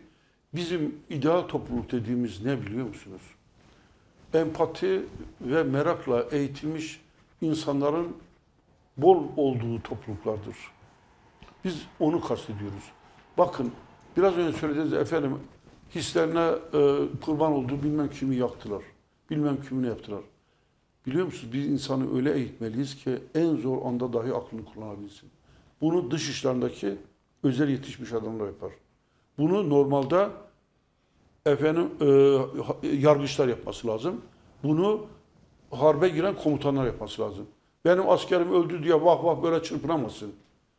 Sen orada soğukkanlılığını her zaman mantığını kullanmak zorundasın. Biz kurma gibi adam yetiştirmek zorundayız. Bizim çabamız da bu. Eğitim bilimini, e, e, evrim bilimini verirseniz kurma gibi adam yetiştiririz. Hiçbir zaman duygularına hayvan gibi hareket etmez, mantıkla hareket eder. İdeal toplumda empati olacak, merak olacak diyorsun. Bir izleyicimiz sormuş. empatisi e, en eksik olanlar seri katillerdir deniyor. Hocam ne der diyor. Yani sizlerden dışında. E, Birçok e, zihinsel hastalıklarda, ruhsal demiyoruz, zihinsel hastalıklarda empati yoksunluğu oluyor zaten. Ona hasta damgası vuruluyor. Normal düşünceden sapma deniyor falan. Evet, e, galaksilerin anatomisini anlatıyordunuz. Şimdi geldik oraya. Evet. Sayfa 193 istiyorsanız. Yok bakmaya gerek yok. Ezbere. Ben yazdım diyorsunuz. Ben, ben yazmıştım. Şimdi bu biraz önceki dönme hareketini şey ettik. Galaksilerin e, bir kısmında veya da uydu galaksiler yani yan galaksilerde manyetik alan yok. Böyle yuvarlak yani top gibi duran galaksi, galaksi parçalarında ve dolayısıyla bunlarda partiküllerin, nesnelerin birbirini çekip de yeniden organ, or- organize olma şansı yok. Bunlardaki yıldızların hepsi hidrojen atomlu. Dolayısıyla hiç gidip orada canlı aramaya gerek yok. Niye? Çünkü sadece hidrojen. Ama bizim Samanyolu gibi galaksimiz olan yerlerde bir manyetik alan var böyle diz şeklinde dönen. Bu manyetik alan zaman zaman iyonize olmuş yani bir çeşit Aslında ekrana şöyle bir hani dönen galaksiyi bulabiliyorlarsa konuşurken getirseler şöyle hani bilinen elektriklenmiş partikülleri bir araya toplayıp o gördüğümüz parlak kısımda yeni bir yıldız yapıyorlar. Şimdi bir kısa bilgi. Bizim yıldızımız 13-14 mil- 10 milyar yıl, 12 milyar yıl kadar kalacak. Sonra içerisindeki hidrojeni bitirecek, büzülecek. Büzülünce helyum yüksek sıcaklıktan bu sefer devreye girecek. Bir miktar daha yanacak. Sonra karbon yanacak. Karbon bittikten sonra bizim yıldızımızın büyüklüğü daha büyük nesneler yakmaya yeterli değil. Güm diye patlayacak ve şey e, Ma- Mars'a kadar olan ve bizi de dahil alıp içerisine götürecek. Cüce bir yıldız haline dönecek. Ama yıldızın büyüklüğü daha fazla ise başına başka şeyler gelecek. Bizim parçalanan yıldızdan artan malzemeyi alacak. Daha büyük bir yıldız nova şeklinde 54'e kadar olan şeyi yapacak elementi. O da patlayacak. 54 çok önemli kimyada. Tam ortada duruyor. Ondan sonra süpernova'ya girecek. Çok daha yüksek sıcaklık, 50 milyar, 100 milyar derecelik sıcaklık, yüksek basınç. Bir patlama daha meydana gelecek, uranyum meydana gelecek. Oraya kadar böyle, bu şekilde evrendeki bütün elementlerin oluşması da tamamlanmış olacak. Şimdi biz gökyüzüne baktığımızda siz zannediyorsunuz ki biz bütün evreni görüyoruz. Hayır biz sadece Samanyolu'nun bir kolunu görüyoruz. O gördüğünüz parlak yer var ya, bin ışık yılı uzaklıkta olan yıldızları görüyoruz. Bizim bütün gördüğümüz gökyüzü e, Samanyolu'nun e, sadece bir koludur. Biz de o kolun bir tanesinde bulunuyoruz. E, Saniyede 240, dakikada 240 kilometre galiba yanlış söylemiyorsam yol alıyor. Hızla dönüyoruz yani şeyin etrafında galaksinin. Şimdi biz herhangi bir yere gitmeden önce orada bir e, e, neyin olup neyin olamayacağını biraz önce söylediğiniz ışık gelen ışınların yapısından efendim e, renginden, Tayflarından. tayflarından anlıyoruz. Bakın bu bir gezegen olsun. Bu gezegenin etrafı, bu bir yıldız olsun. Eğer bunun etrafında bir gezegen var ise biz çok fotonu foton foton ölçebilecek aletler geliştirdiğimiz için çok uzaktaki bir şey nesneyi anlayabiliyoruz. Bakın. Bundan bir tane eğer gezegen varsa böyle dönüyor geliyor. Tam bunun önüne geldiği zaman bu yıldızdan gelen ışık bir miktar azalıyor. O zaman anlıyorum ki bunun etrafında gezegen var. Ve dönüyor. Diyelim ki 3 saat, 5 saat sonra tekrar geliyor. O zaman anlıyorum ki bu şey gezegen bunun etrafında bir ayda, 3 günde, 5 günde dönüyor. Pekala. Ben bu gezegende canlı olup olmadığını nasıl anlayacağım? Şimdi tam gezegen buraya geldiğine bakın buraya. Arkada da bir yıldız var ise bu yıldız geliyor. Onun ışığı gezegenin içerisinde atmosferden geçiyor. Atmosferden geçince bana atmosferden geçen ışın geliyor.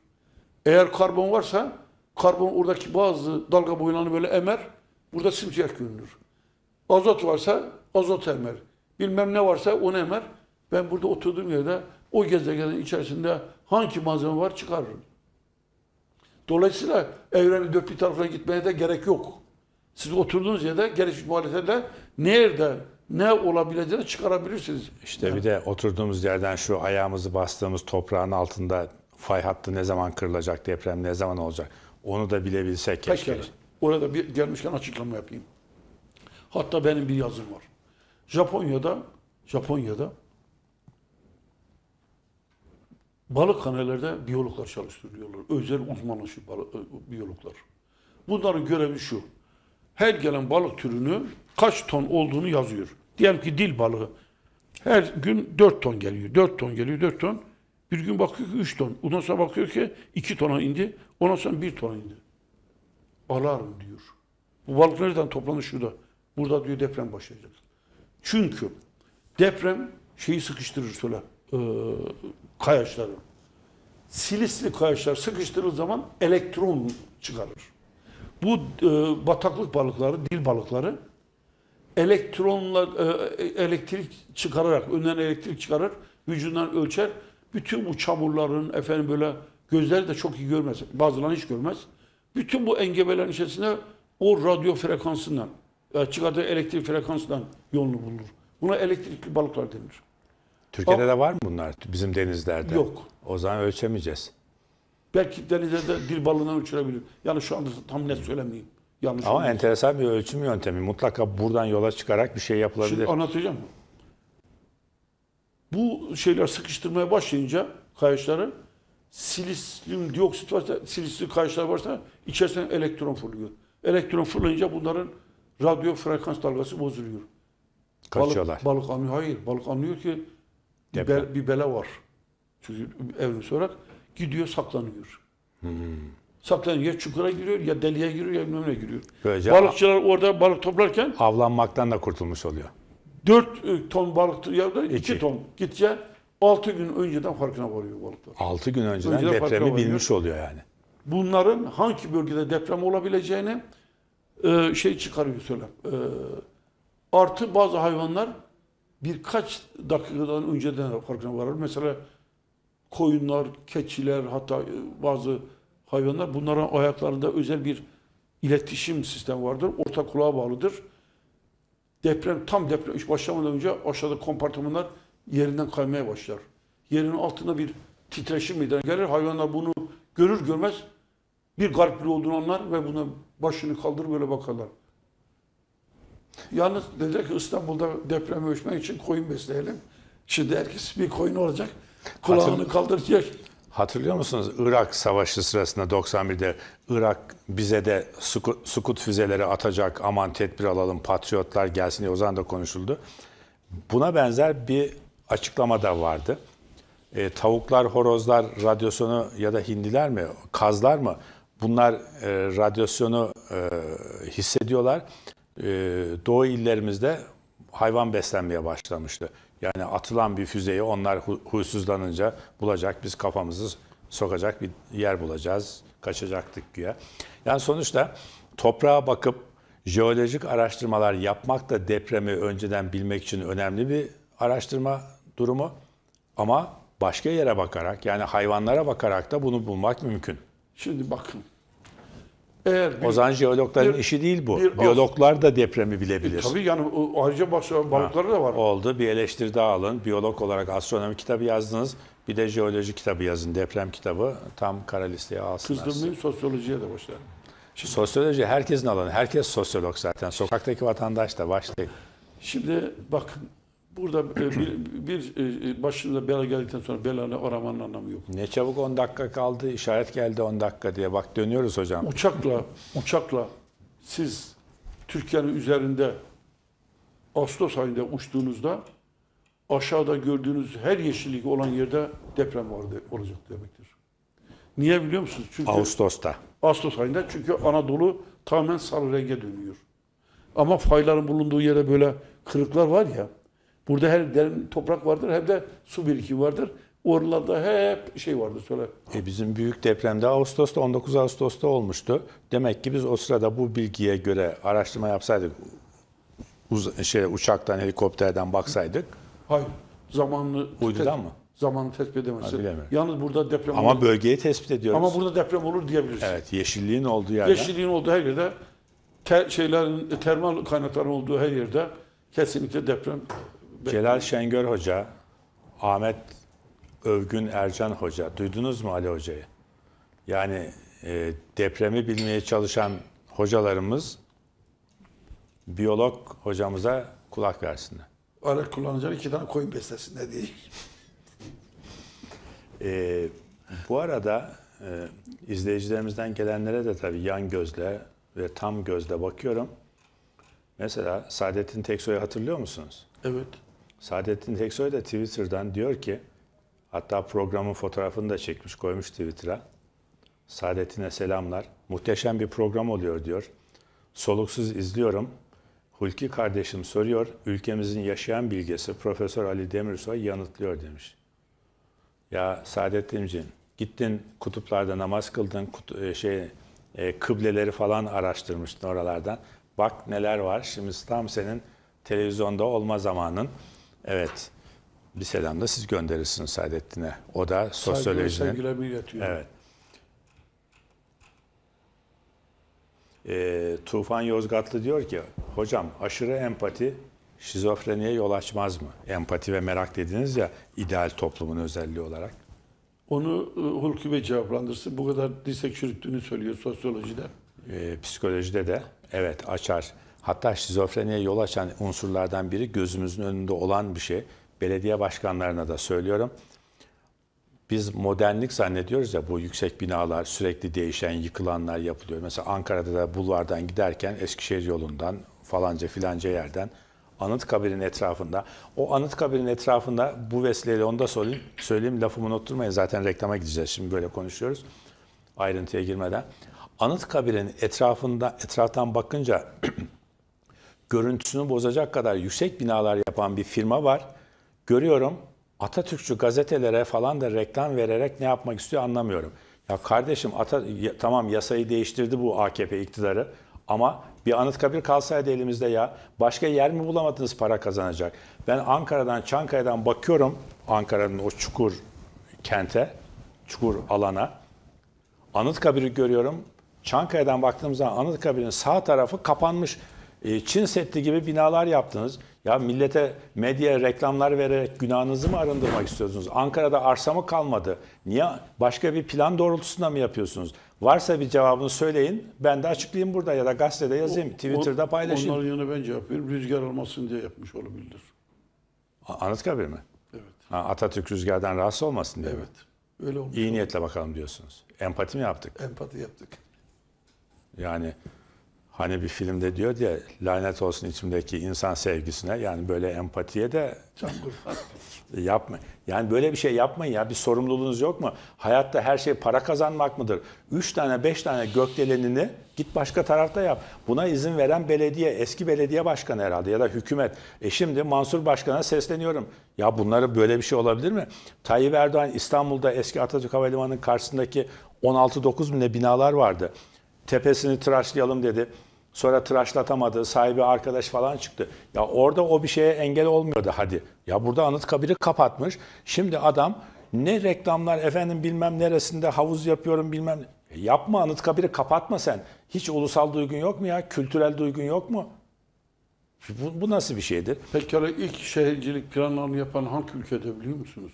E, A- Ankara'daki mi? Yok e, e, tarihte. İlk şehir, Kent planını kent mı? planı. Asurlar mı? Miletos. Yani bugünkü millet. Milletliler bizim Ege. Evet. Ege'de İlk yaşayan Şehir planlayıcılar oradan çıkmış. 3000 yıl önce bu ülke şeyden e, topraklarda şehir plancısı çıkmış. Şu İstanbul'un haline bakın. Ankara geçti şimdi rezalette. Yani o, o biçimde yapılaşma rezalet ise ki öyle uçaktan baktığım zaman İstanbul'da görüyorum. Twitter'da paylaştım geçen sene. Yukarıdan bakınca mezar taşı gibi gözüküyor o gökdelenler. Uçaktan köprünün üstünden geçerken bakıp resimlerini de çektim. Me- Postmodern mezar taşı gibi duruyor Peki, gökdelenler. kapanmadan bir şey ekleme Söyleyin, yapayım. buyurun. Kapanmadan. Şimdi serbest atış, empatiyi bıraktık dö- Kapa, saati. kapanmadan. Efendim bir insanın e, embriyosunun ana karında düzgün gelişebilmesi için yüzde 21'lik oksijenli ortamda hamileliğin geçirmesi lazım. Yüzde kaç? Yüzde yirmi birlik. Yüzde Yani dünyadaki e, genel dağılım. Biz en iyi e, şeyi, embriyonik gelişmeyi en sağlam, embriyonik gelişmeyi yüzde yirmi birlik oksijenli bir ortamda yaparız. Siz o büyük binalar, ben geçen gün oradaydım, fotoğraflarını çektim İstanbul'da. Efendim bu kadar e, araba, bu kadar e, e, gaz, Egzoz, duman. inanılmaz. Şimdi eğer Bunlar çıka- çıkamıyor, rüzgar gelemiyor. ölç imkanı yok. Eğer ölçüm yapılacak olursa orada oksijen miktarının yüzde 15'e düştüğünü görebiliriz. Oradaki hamileleri düşünelim. Yani çocuklar yüzde 21 alamıyor oksijeni. Ne oluyor biliyor musun? 100 milyar nöron hücresi var, sinir hücresi. Çocuk doğarken 30 bin tane, 30 milyarı defekte oluyor. Ondan sonra diyoruz ki 14 fizik sorusundan bir tane yapmışız. Ama- Söyleneni anlamamışız. Ondan sonra orada bilmem sarıklı bilmem neli bir sürü adamlar dolaşıyor ta prehistorik. Niye bunlar dolaşıyor? E, bu oksijen miktarında Einstein mı olacağını bekliyordunuz siz? Ama nedense herkes hele her dönemde bizim çocuklarımız olduğu zaman da herkes yeni anne baba olduğu zaman şunu söylüyor. Benim çocuğum müthiş zeki. Her dönemde zeki sonra da bir şey çıkar. X, Y, Z bilmem ne kuşakları.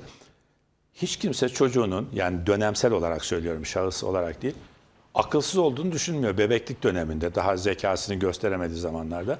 Herkes akıllı diyor ama zaman geçtikçe akıllandığını iddia ediyor. Ama zaman geçtikçe siz tam tersini ben de tam tersini söylüyorum. O binalar yapıldıkça alması gereken %21'lik oksijen %7'ye düştüğü zaman işte bu kadar ne ne oluyor dediniz? Ee, nöronlarını mı kaybediyor dediniz? Nöron, bir daha doğuştan nöronların kalıyor.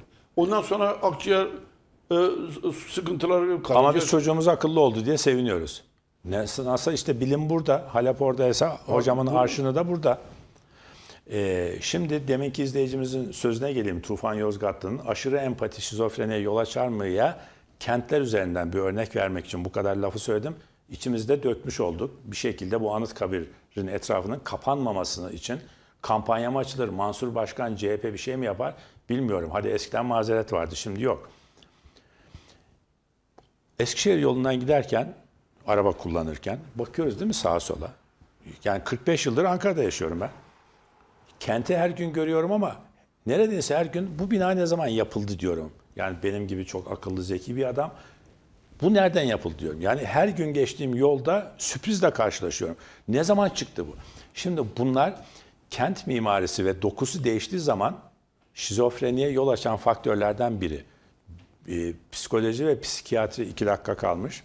Ee, bir daha gösterirsen seni havale edeceğim. Bak raporu yazacağım. Şimdi kentin içinde biz hani başka faktörler, etkenlerden uzak yaşadığımızı düşünelim. Belli bir yaşa gelen insanların bunamasının, şizofreniye yakalanmasının nedenlerinden biri de kentteki bu sürekli değişiklikler. Bu hastalar dışarı çıkmak istemiyor. Eve kapanıyor. Hastalığı nedeni. Evde eşyalarının yerinin sabit olması gerekiyor. Çünkü öyle. E düşünsenize dışarı çıktığı zaman binalar sabit değil. Yollar sabit değil. Baktığı manzara gözünün önünde sanki slide gibi geçiyor. Kentlerin de bir kültürel dokusunun korunması gerekiyor. Mesela e, Ulus'a gitse belki tanıyamayacak. Ya buradan da hani kent sosyoloğu gibi konuşalım. Belediye başkanına, ilgililere sesleniyoruz. Ulus'u bir kere Atatürk'ün ulusu gibi yapın, ulus meydanını. O, o dokuyu koruyun.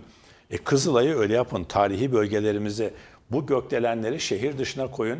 Yurt dışında bizim gördüğümüz hep öyle. Roma'ya gidiyorsunuz, eski Roma var, yeni Roma var. Londra'ya gidiyorsunuz, e, şehir bölümü var, eski Roma bölümü var. Yani yeni binaları gidin başka tarafta yapın ama eski şehir korunsun. Bunlar evet Tufan Bey'in sorusuna yanıt gibi oldu ve reklama da böylece bağlamış olduk. Kent dokusunun, binaların, şekillerin, yolların değişmesi bile şizofreni için çok önemli bir olumsuz etken. Ee, aşırı empati de sormuştu. Evet o da. Ee, ego insanın ruh sağlığını koruması için çok gerekli bir şey. Ego ve narsizm çok gerekli bir şey. Burada kötü olan şu. Yıkıcı ego ve yıkıcı narsizm boyutu kötü. Ama yapıcı narsizm ve yapıcı ego var. Bu bizim benliğimizi, kimliğimizi, kişiliğimizi, beynimizi korumamı, korumak ve var olmak için zorunlu. O yüzden evet aşırı empati yapmak insanı hasta eder ve kendisi değil başkası olarak kendisi diye bir kavram var. Başkası olarak kendisi yapar ve yok olur gider. Biz de şimdi 5-6 dakika yok oluyoruz. Reklamlara gidiyoruz. Az sonra buradayız. Tekrar birlikteyiz. Son birliktelik. Sonra veda ediyoruz biliyorsunuz. Evet hocam. Evrende kitap 12. bölüm. Biraz hızlı gittik tabii. Sayfa 200, 358. Evrende insan ya da insanın yaşayacağı yer var mı diye soruyorsunuz. Sorduğunuza göre cevabı da yazdınız buraya ki görüyorum. Bir de uzayda yolculuk var mı? Kola, olursa e, kolay olur mu? Ne zaman yapılabilir bu? Buyurunuz. Şimdi tabii e, insanlar e, korkularından dolayı nasıl bir e, ahiret yaratmışlarsa cennet cehennem dünyayı berbat ettikleri iç- zaman da bir uzay e, yıldız arası seyahat ve yerleşebilecekleri yeri düş diyorlar. Bizim beynimizin altında bir organ var. Şimdi uzun uzun anlatmayayım da. Bu organı son zamanlarda sık sık anlatmaya başladım. Çünkü 1985'ten sonra esans fonksiyonlar ortaya çıktı. Amigdala denen bir organ. Mesela diyor herkes ölür ama sen ölmezsin diyor. Herkes kaza yapar ama sen yapmazsın diyor. Bu. Karadenizlerin söylediği değil mi? Ki- Biz hamsi yiyoruz bize bir şey olmaz mantığı değil mi? gibi. Şimdi e, tabii insanlar diyor ki gözüyorlar, akıllı insanlar da var ve biz bu dünyayı eğer şu etabı nedene tarif edersek diyor bir yere gider neslimizde diyor devam ettirebiliriz. Bir grup insan da merakı gereği ki onlara saygı duyuyorum bilim adamı. Acaba bizatihi gidip e, görme, inceleme fırsatı olabilir mi? Bu iki duygunun meydana getirdiği bir şey var. Biz uzayda bir yerlere gidelim.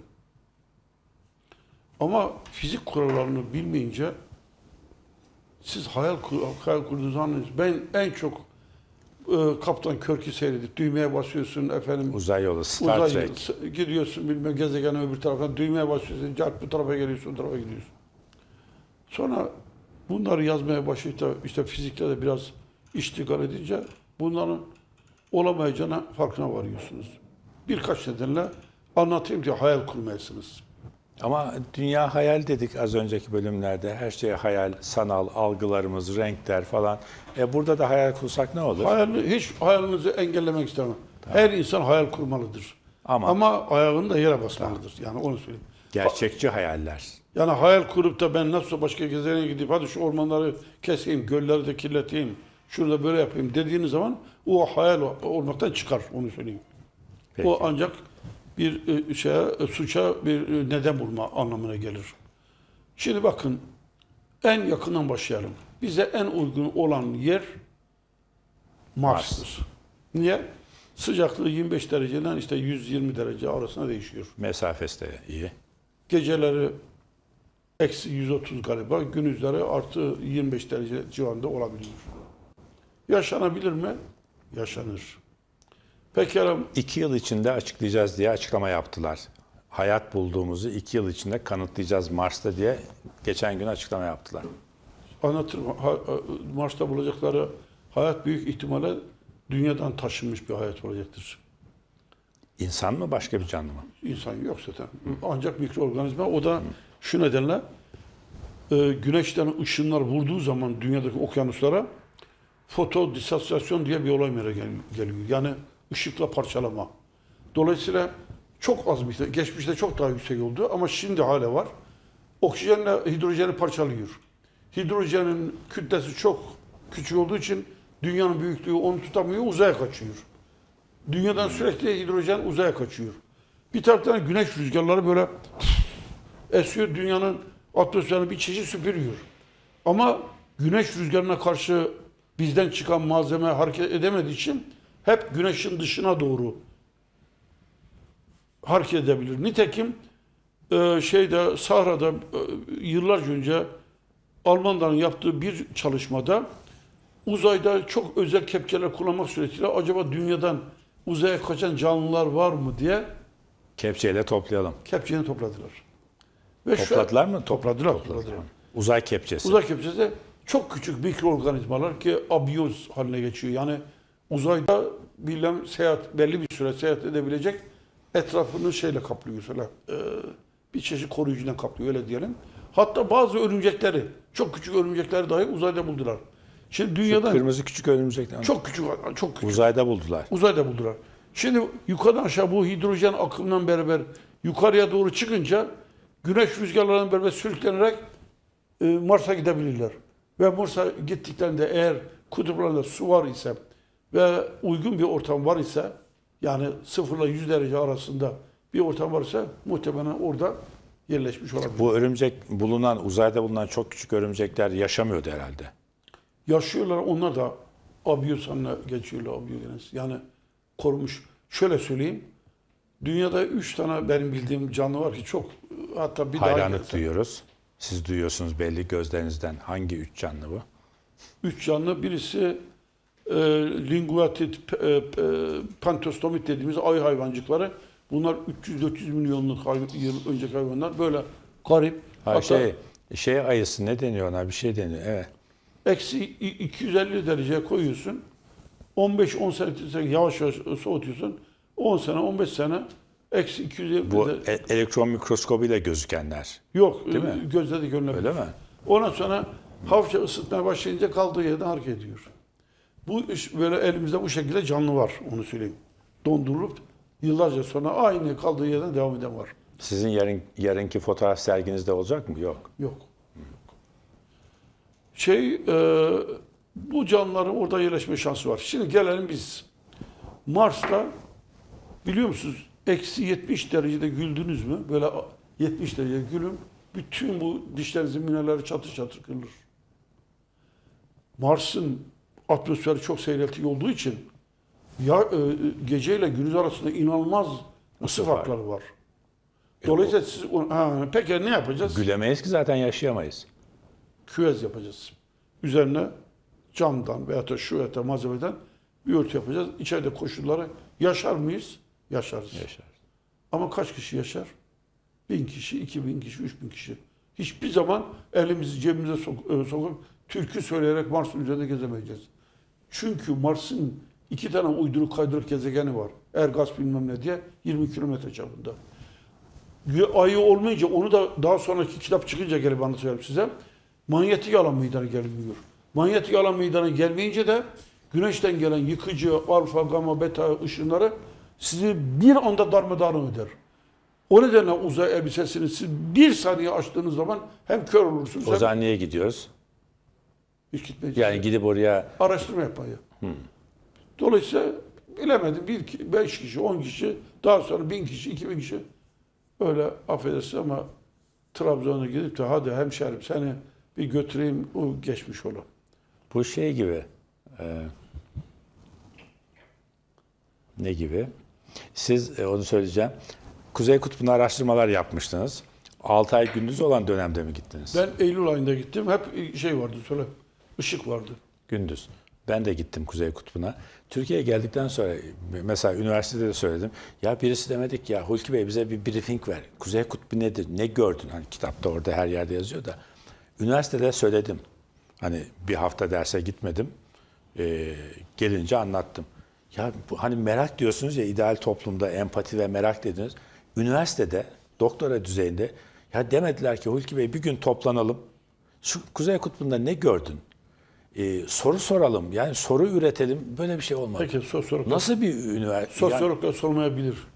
Ya 50, yok, o el- git, gittiğim yer sosyoloji bölümü değildi. Başka bir bölümdü. 50 yıldır biyologlar bana sormadı pekala. Üstelik de ben 52 bilim adamına araştırma yaptım. Ya sosyolog soruyor işte şimdi size. Keşke biyolog olsaydım. Ee, Şimdi- o- evet. O akşam sabah kalkıp da Osmanlı'yı övüyorsunuz ya. Benim de cinlerin başıma toplanıyor. Bakın dünyada uzaydan baktığımız zaman iki insan yapısı görülüyormuş. Birisi Çin Seddi, öbürsü de şeyler e, Mısır'daki piramitler. Evet. Kaç yıl e, Mısır'da kaldınız? 400 yıl. Biliyor musunuz Osmanlı'da piramitlerle ilgili tek yazı bir cümle yazılı değil. Müthiş bir şey. Yani 50 150 adım e, eni efendim bilmem kaç adım boyu. Ya bir adımla ölçün. Biz ne diyoruz? Hayvanı insanlara ayıran en önemli özellik meraktır diyoruz. Bir daha söyleyin hocam. 400 yıl Osmanlı idaresinde kalan Mısır'da, Mısır'da piramitler Osmanlıların egemenliği altındaydı. bir Ama- tek cümle yoktur. Piramitle ilgili 400 yıl boyunca Osmanlı hiçbir şey yazmamış. Hiçbir şey yazmamıştır. Çünkü merak etmiyor. biz yazalım arkadaşlar altyazı olarak. Osmanlı egemen olduğu Mısır'da 400 yıl boyunca piramitlerle ilgili hiçbir şey yapmamış, yazmamış. Yazmamış. Neden acaba? Merak yok. Hayır din mi engel oldu diyeceğim. Ne, çok tanrılı hani piramitler, firavunlar dönemi dine mi zarar veriyor diye düşündüler acaba? Hemen Anlamadım. şunu söyleyeyim. Din merak etmeyi blok eden bir şeydir. Söyle eğitim sistemidir. Siz merak ettiğiniz zaman inanç sistemlerinden uzaklaşabilirsiniz. Bu nedenle bizim dilimizde şu var, icat çıkarma diye bir kelime var. Benim bütün ailem, nenem, bilmem dedem neyse bir şey yaptım bunlar icat çıkarma derler. Kurulu düzenden yanayız. Bozma düzeni diyor. Bu arada bir şey anlatayım mı? Buyurun anlatın. Zaten 10 dakika kalmış. Bizim Muzaffer işaret edip duruyor. Öyle mi? Onu ışınlayacağız hocam. Işık hızına çıkar mı bilmiyorum ama. Arkadaşlar ben ben bu ülkeye bel bağlamış bir adamım. Elimden geldiği kadar gece gündüz biraz aydınlanması için, biraz medeni dünyanın bir parçası olması için elimden geleni yapıyorum. Hiçbir beklentim yok. Hiçbir yere talip değilim. Hiçbir parasal beklentim de yok. Açıkça söyleyeyim. Yalnız Paraları cahiller kazansın o zaman. kazansın. E, kazanıyorlar. Kazanıyorlar da. Tamam. Fakat Kazanmasın şu da ne kazanıyor. olur bakın benim söylediklerime bir kulak verin. Deyin ki acaba bu adam niye böyle çıkıyor gece yarılarına 80 yaşındaki adamı anlatıyor. Şu durduğunuz yerden kafanızı bir çıkarın bir bakın. Bir bir kendinizi serbest bırakın. En azından bir gününe bırakın. Çok yaramazdım ben. Şeyden e, tandır e, kışın tandır kurduk. İşte hepimiz ısınalım diye. Anneannem de çok dindar. Beş vakit namaz kılıyor. Sürekli Kur'an okuyor. Ben de anneannemin başında zıplıyorum oraya, zıplıyorum bu yana. O yana zıplıyorum, bu yana zıplıyorum. Gel buraya dedi bana ulan dedi. Evet, oturdum. Dedi ki bir gün dedi kıyamet kopacak. Deccal inecek, sür borusu çalacak dedi. Bütün dağlar taşlar zıngır zangır zıngır dedi titreyecek dedi. Benim gibi namazında niyazında olan adam dedi derin bir uykuya dalacak. Senin gibi günahkar da dedi bu ses nereden geliyor dedi. Pencereden dışarı uzatacak. Birdenbire de geyiklerin boynuzu gibi dedi. Boynuz bitecek dedi. Nasıl bir hayal gücü? Ve dedi içeri çekmeye çalışıyor ama çekemeyecek. Kaç yaşındaydınız o sırada? Nerede 5 yaşında. Ha, Dedi bir anne ne? Dışarı çıkar kurtulurum. Ulan dedi biz onu hiç düşünmemiştik. Şimdi ben söylüyorum. Ne olur dışarı çıkın. Bir gün, Kurtulun. iki gün şu e, şeyde doğmanızdan arının bu adam acaba ne demek istiyor diye bir düşünün. Yani e, terk edin demiyorum düşüncelerinizi ama bir düşünün. Bakın yarın size bunu düşündürmeye fırsat vermeden sizin e, şeyinizi kazacaklar. Bu kitabı da boşuna getirdik ama açacak açamadık. Çok zaman, fazla zamanımız kalmadı. Dünyadaki kaynaklar, bütün şeyler, bir- nüfus artışı, tüketim toplumlarının inanılmaz artışı bizim sonumuza hazırlıyor, sonumuzu hazırlıyor. Tekrar tekrar söylüyorum. Hayvanlar yaşayarak öğrenir. Bir belayı iki üç defa yaşarlar, daha bir daha yapmazlar. İnsanların bilimin en önemli özelliği şudur. Önceden hesap ederler, bulurlar, tahmin Hem ederler. yaşayarak öğreniyoruz ama yaşamadan da her şeyi yaşay- yaşayıp öğrenecek zamanımız yok. Yoktur. Hesap kitap okuyarak tabii bil- önlemini almadır. Bizim bizim yaşlı adamların, beyaz saç adamların en büyük görevi şudur. Deneyimine, bilgisine dayanarak gelecek kuşaklara doğru yolu olabildiğinde seçenekleri sunmadır. Biz zoraki bunu yapacaksın da diyemeyiz. O zaman özgürlükleri kısıtlarız. Biz seçenekleri sunarız. Bakın bunlar bunlar var. Bilim bunu diyor. Hesabı olmayan, e, hesaplanamayan, den, e, de- e, efendim tekrarlanamayan, tartılamayan, ölçülemeyen şeylerle konuşamayız. Bizim bütün yani benim şahsen benim bütün e, yapım hesap edilebilir, tartılabilir, tekrarlanabilir, ölçülebilir şeylerle konuşmadır. ama psikolojide diyor ki insanlar hep bunun dışında öyle bir e, organizmadır diyor. E, bir izleyicimiz diyor ki bir düşünürün sözünü iletmiş, hatırlamıyor adını. Demiş ki o düşünür, örümcek öyle bir çalışkan canlıdır ki fırsatını bulsa yıldızlara ağ kurar. 100 yıl önce söylemiş bunu. Yaşasaydı haklılığına kendi bile şaşırırdı diyor izleyicimiz. Siz dediniz ya örümcek bulunmuş orada. Üç Ama tane hayvana ama sürüklemiş gitmiş yani. üç tane hayva- hayvana e, hayrandınız. Bir tanesi örümcekti, bir tane de Örümcekli e, linguatit dil Üçüncüsü ayı hayvancı bir tane daha var. Ha. Bunlar çok eski hayvanlar. İnanılmaz bunlar vücutlarında efendim şeyler e, söyle e, arabalar koyduğumuz neydi o soğutmayı ön, donmayı önleyen şey koyuyoruz ya. e, interneti mi söylüyorsun? Yok arabalar donmasın diye şey Ay, Antifriz. Antifriz. Vücutlarında inanılmaz antifrizler meydana geliyor. Yani bu bambaşka bir mekanizma onlarınki. Bunlar e, şey e, radyasyona inanılmaz dayanıyor. Götürüyorlar radyasyon altına koyuyorlar. Radyasyondan çünkü neden? 300 milyon yıldan beri bunlar pişe pişe tam pişmiş. Yani ortama uyum yapmışlar. Ay, Evrim. hayvancıklar. Evrim. E, Hatta e, sayın seyirciler şey derlerse e, önlerinde e, internet varsa panto, pentostomit, pentostomit ya da e, linguatit diye girdikleri zaman ay hayvancıklar diye girdikleri zaman çok garip bir hayvan çıkacak önlerine. evet. Mars'a niye gidiyoruz o zaman? Hepimiz gidemiyoruz. Öyle elimizi kolumuzu Şimdi- sallayarak gitsek bile dolaşamayacağız dediniz. E, o Venüs'e, zaman Venüs'e gidemeyiz. 500 derece sıcaklık var. Kurşun dahi erimiş vaziyette. e, niye uğraşıyoruz gitmek için? E ama merakımız var. Öğrenmemiz merak. lazım. Merak var.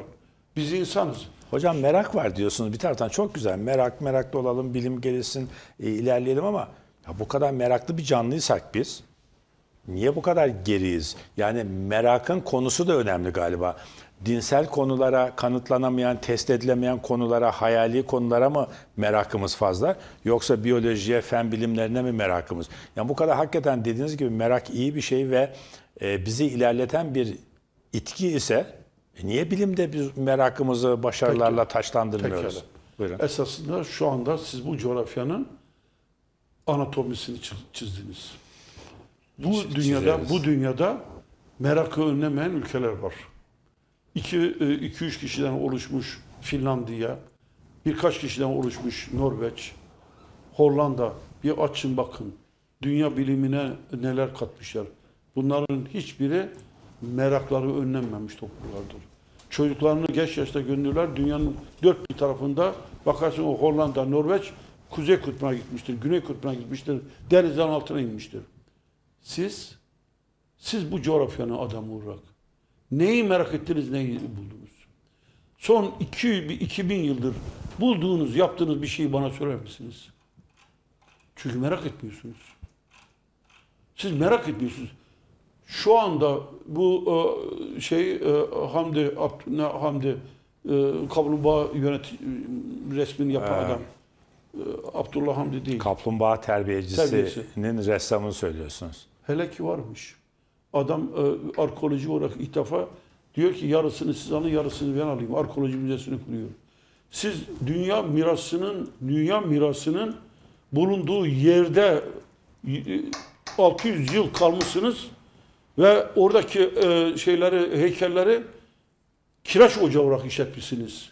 Merak etmemişsiniz. Bu e, acaba neden yapıldı? Osman Hamdi Bey, Osman Hamdi. ressam. Evet. E şimdi sizde merak olmadığı için hiç- diyorsunuz ki niye böyle kalmışız? Açık.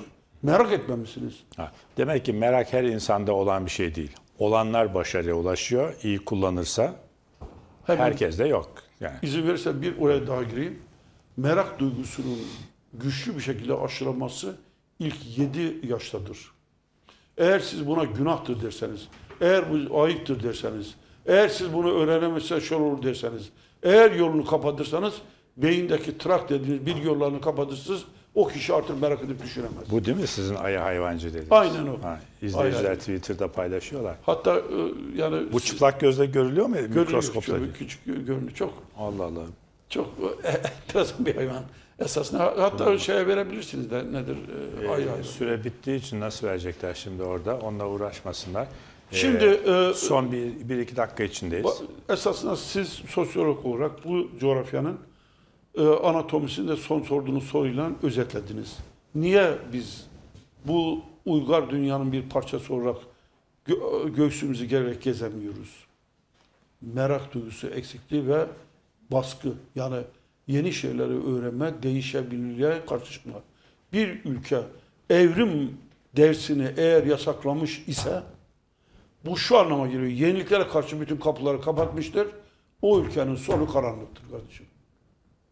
Ben burada söylüyorum bak Ali Demirsoy olarak.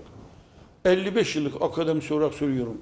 Bu ülkenin sonu bu gidişten siz ekonomi- Karanlıktır. Karanlıktır. Çünkü düşünür adam yetiştiremezsiniz. Yetiştirdikleriniz de bu ortamda kalmaz. Hep kaçar. E, sosyoloji açısından şunu söyleyeyim hocam. Geçenlerde Yeni Çağ Gazetesi'nde de yazımın başlığıydı. Bir opak toplum, bu kavramı da ben kullanıyorum. Opak toplum yapıyoruz.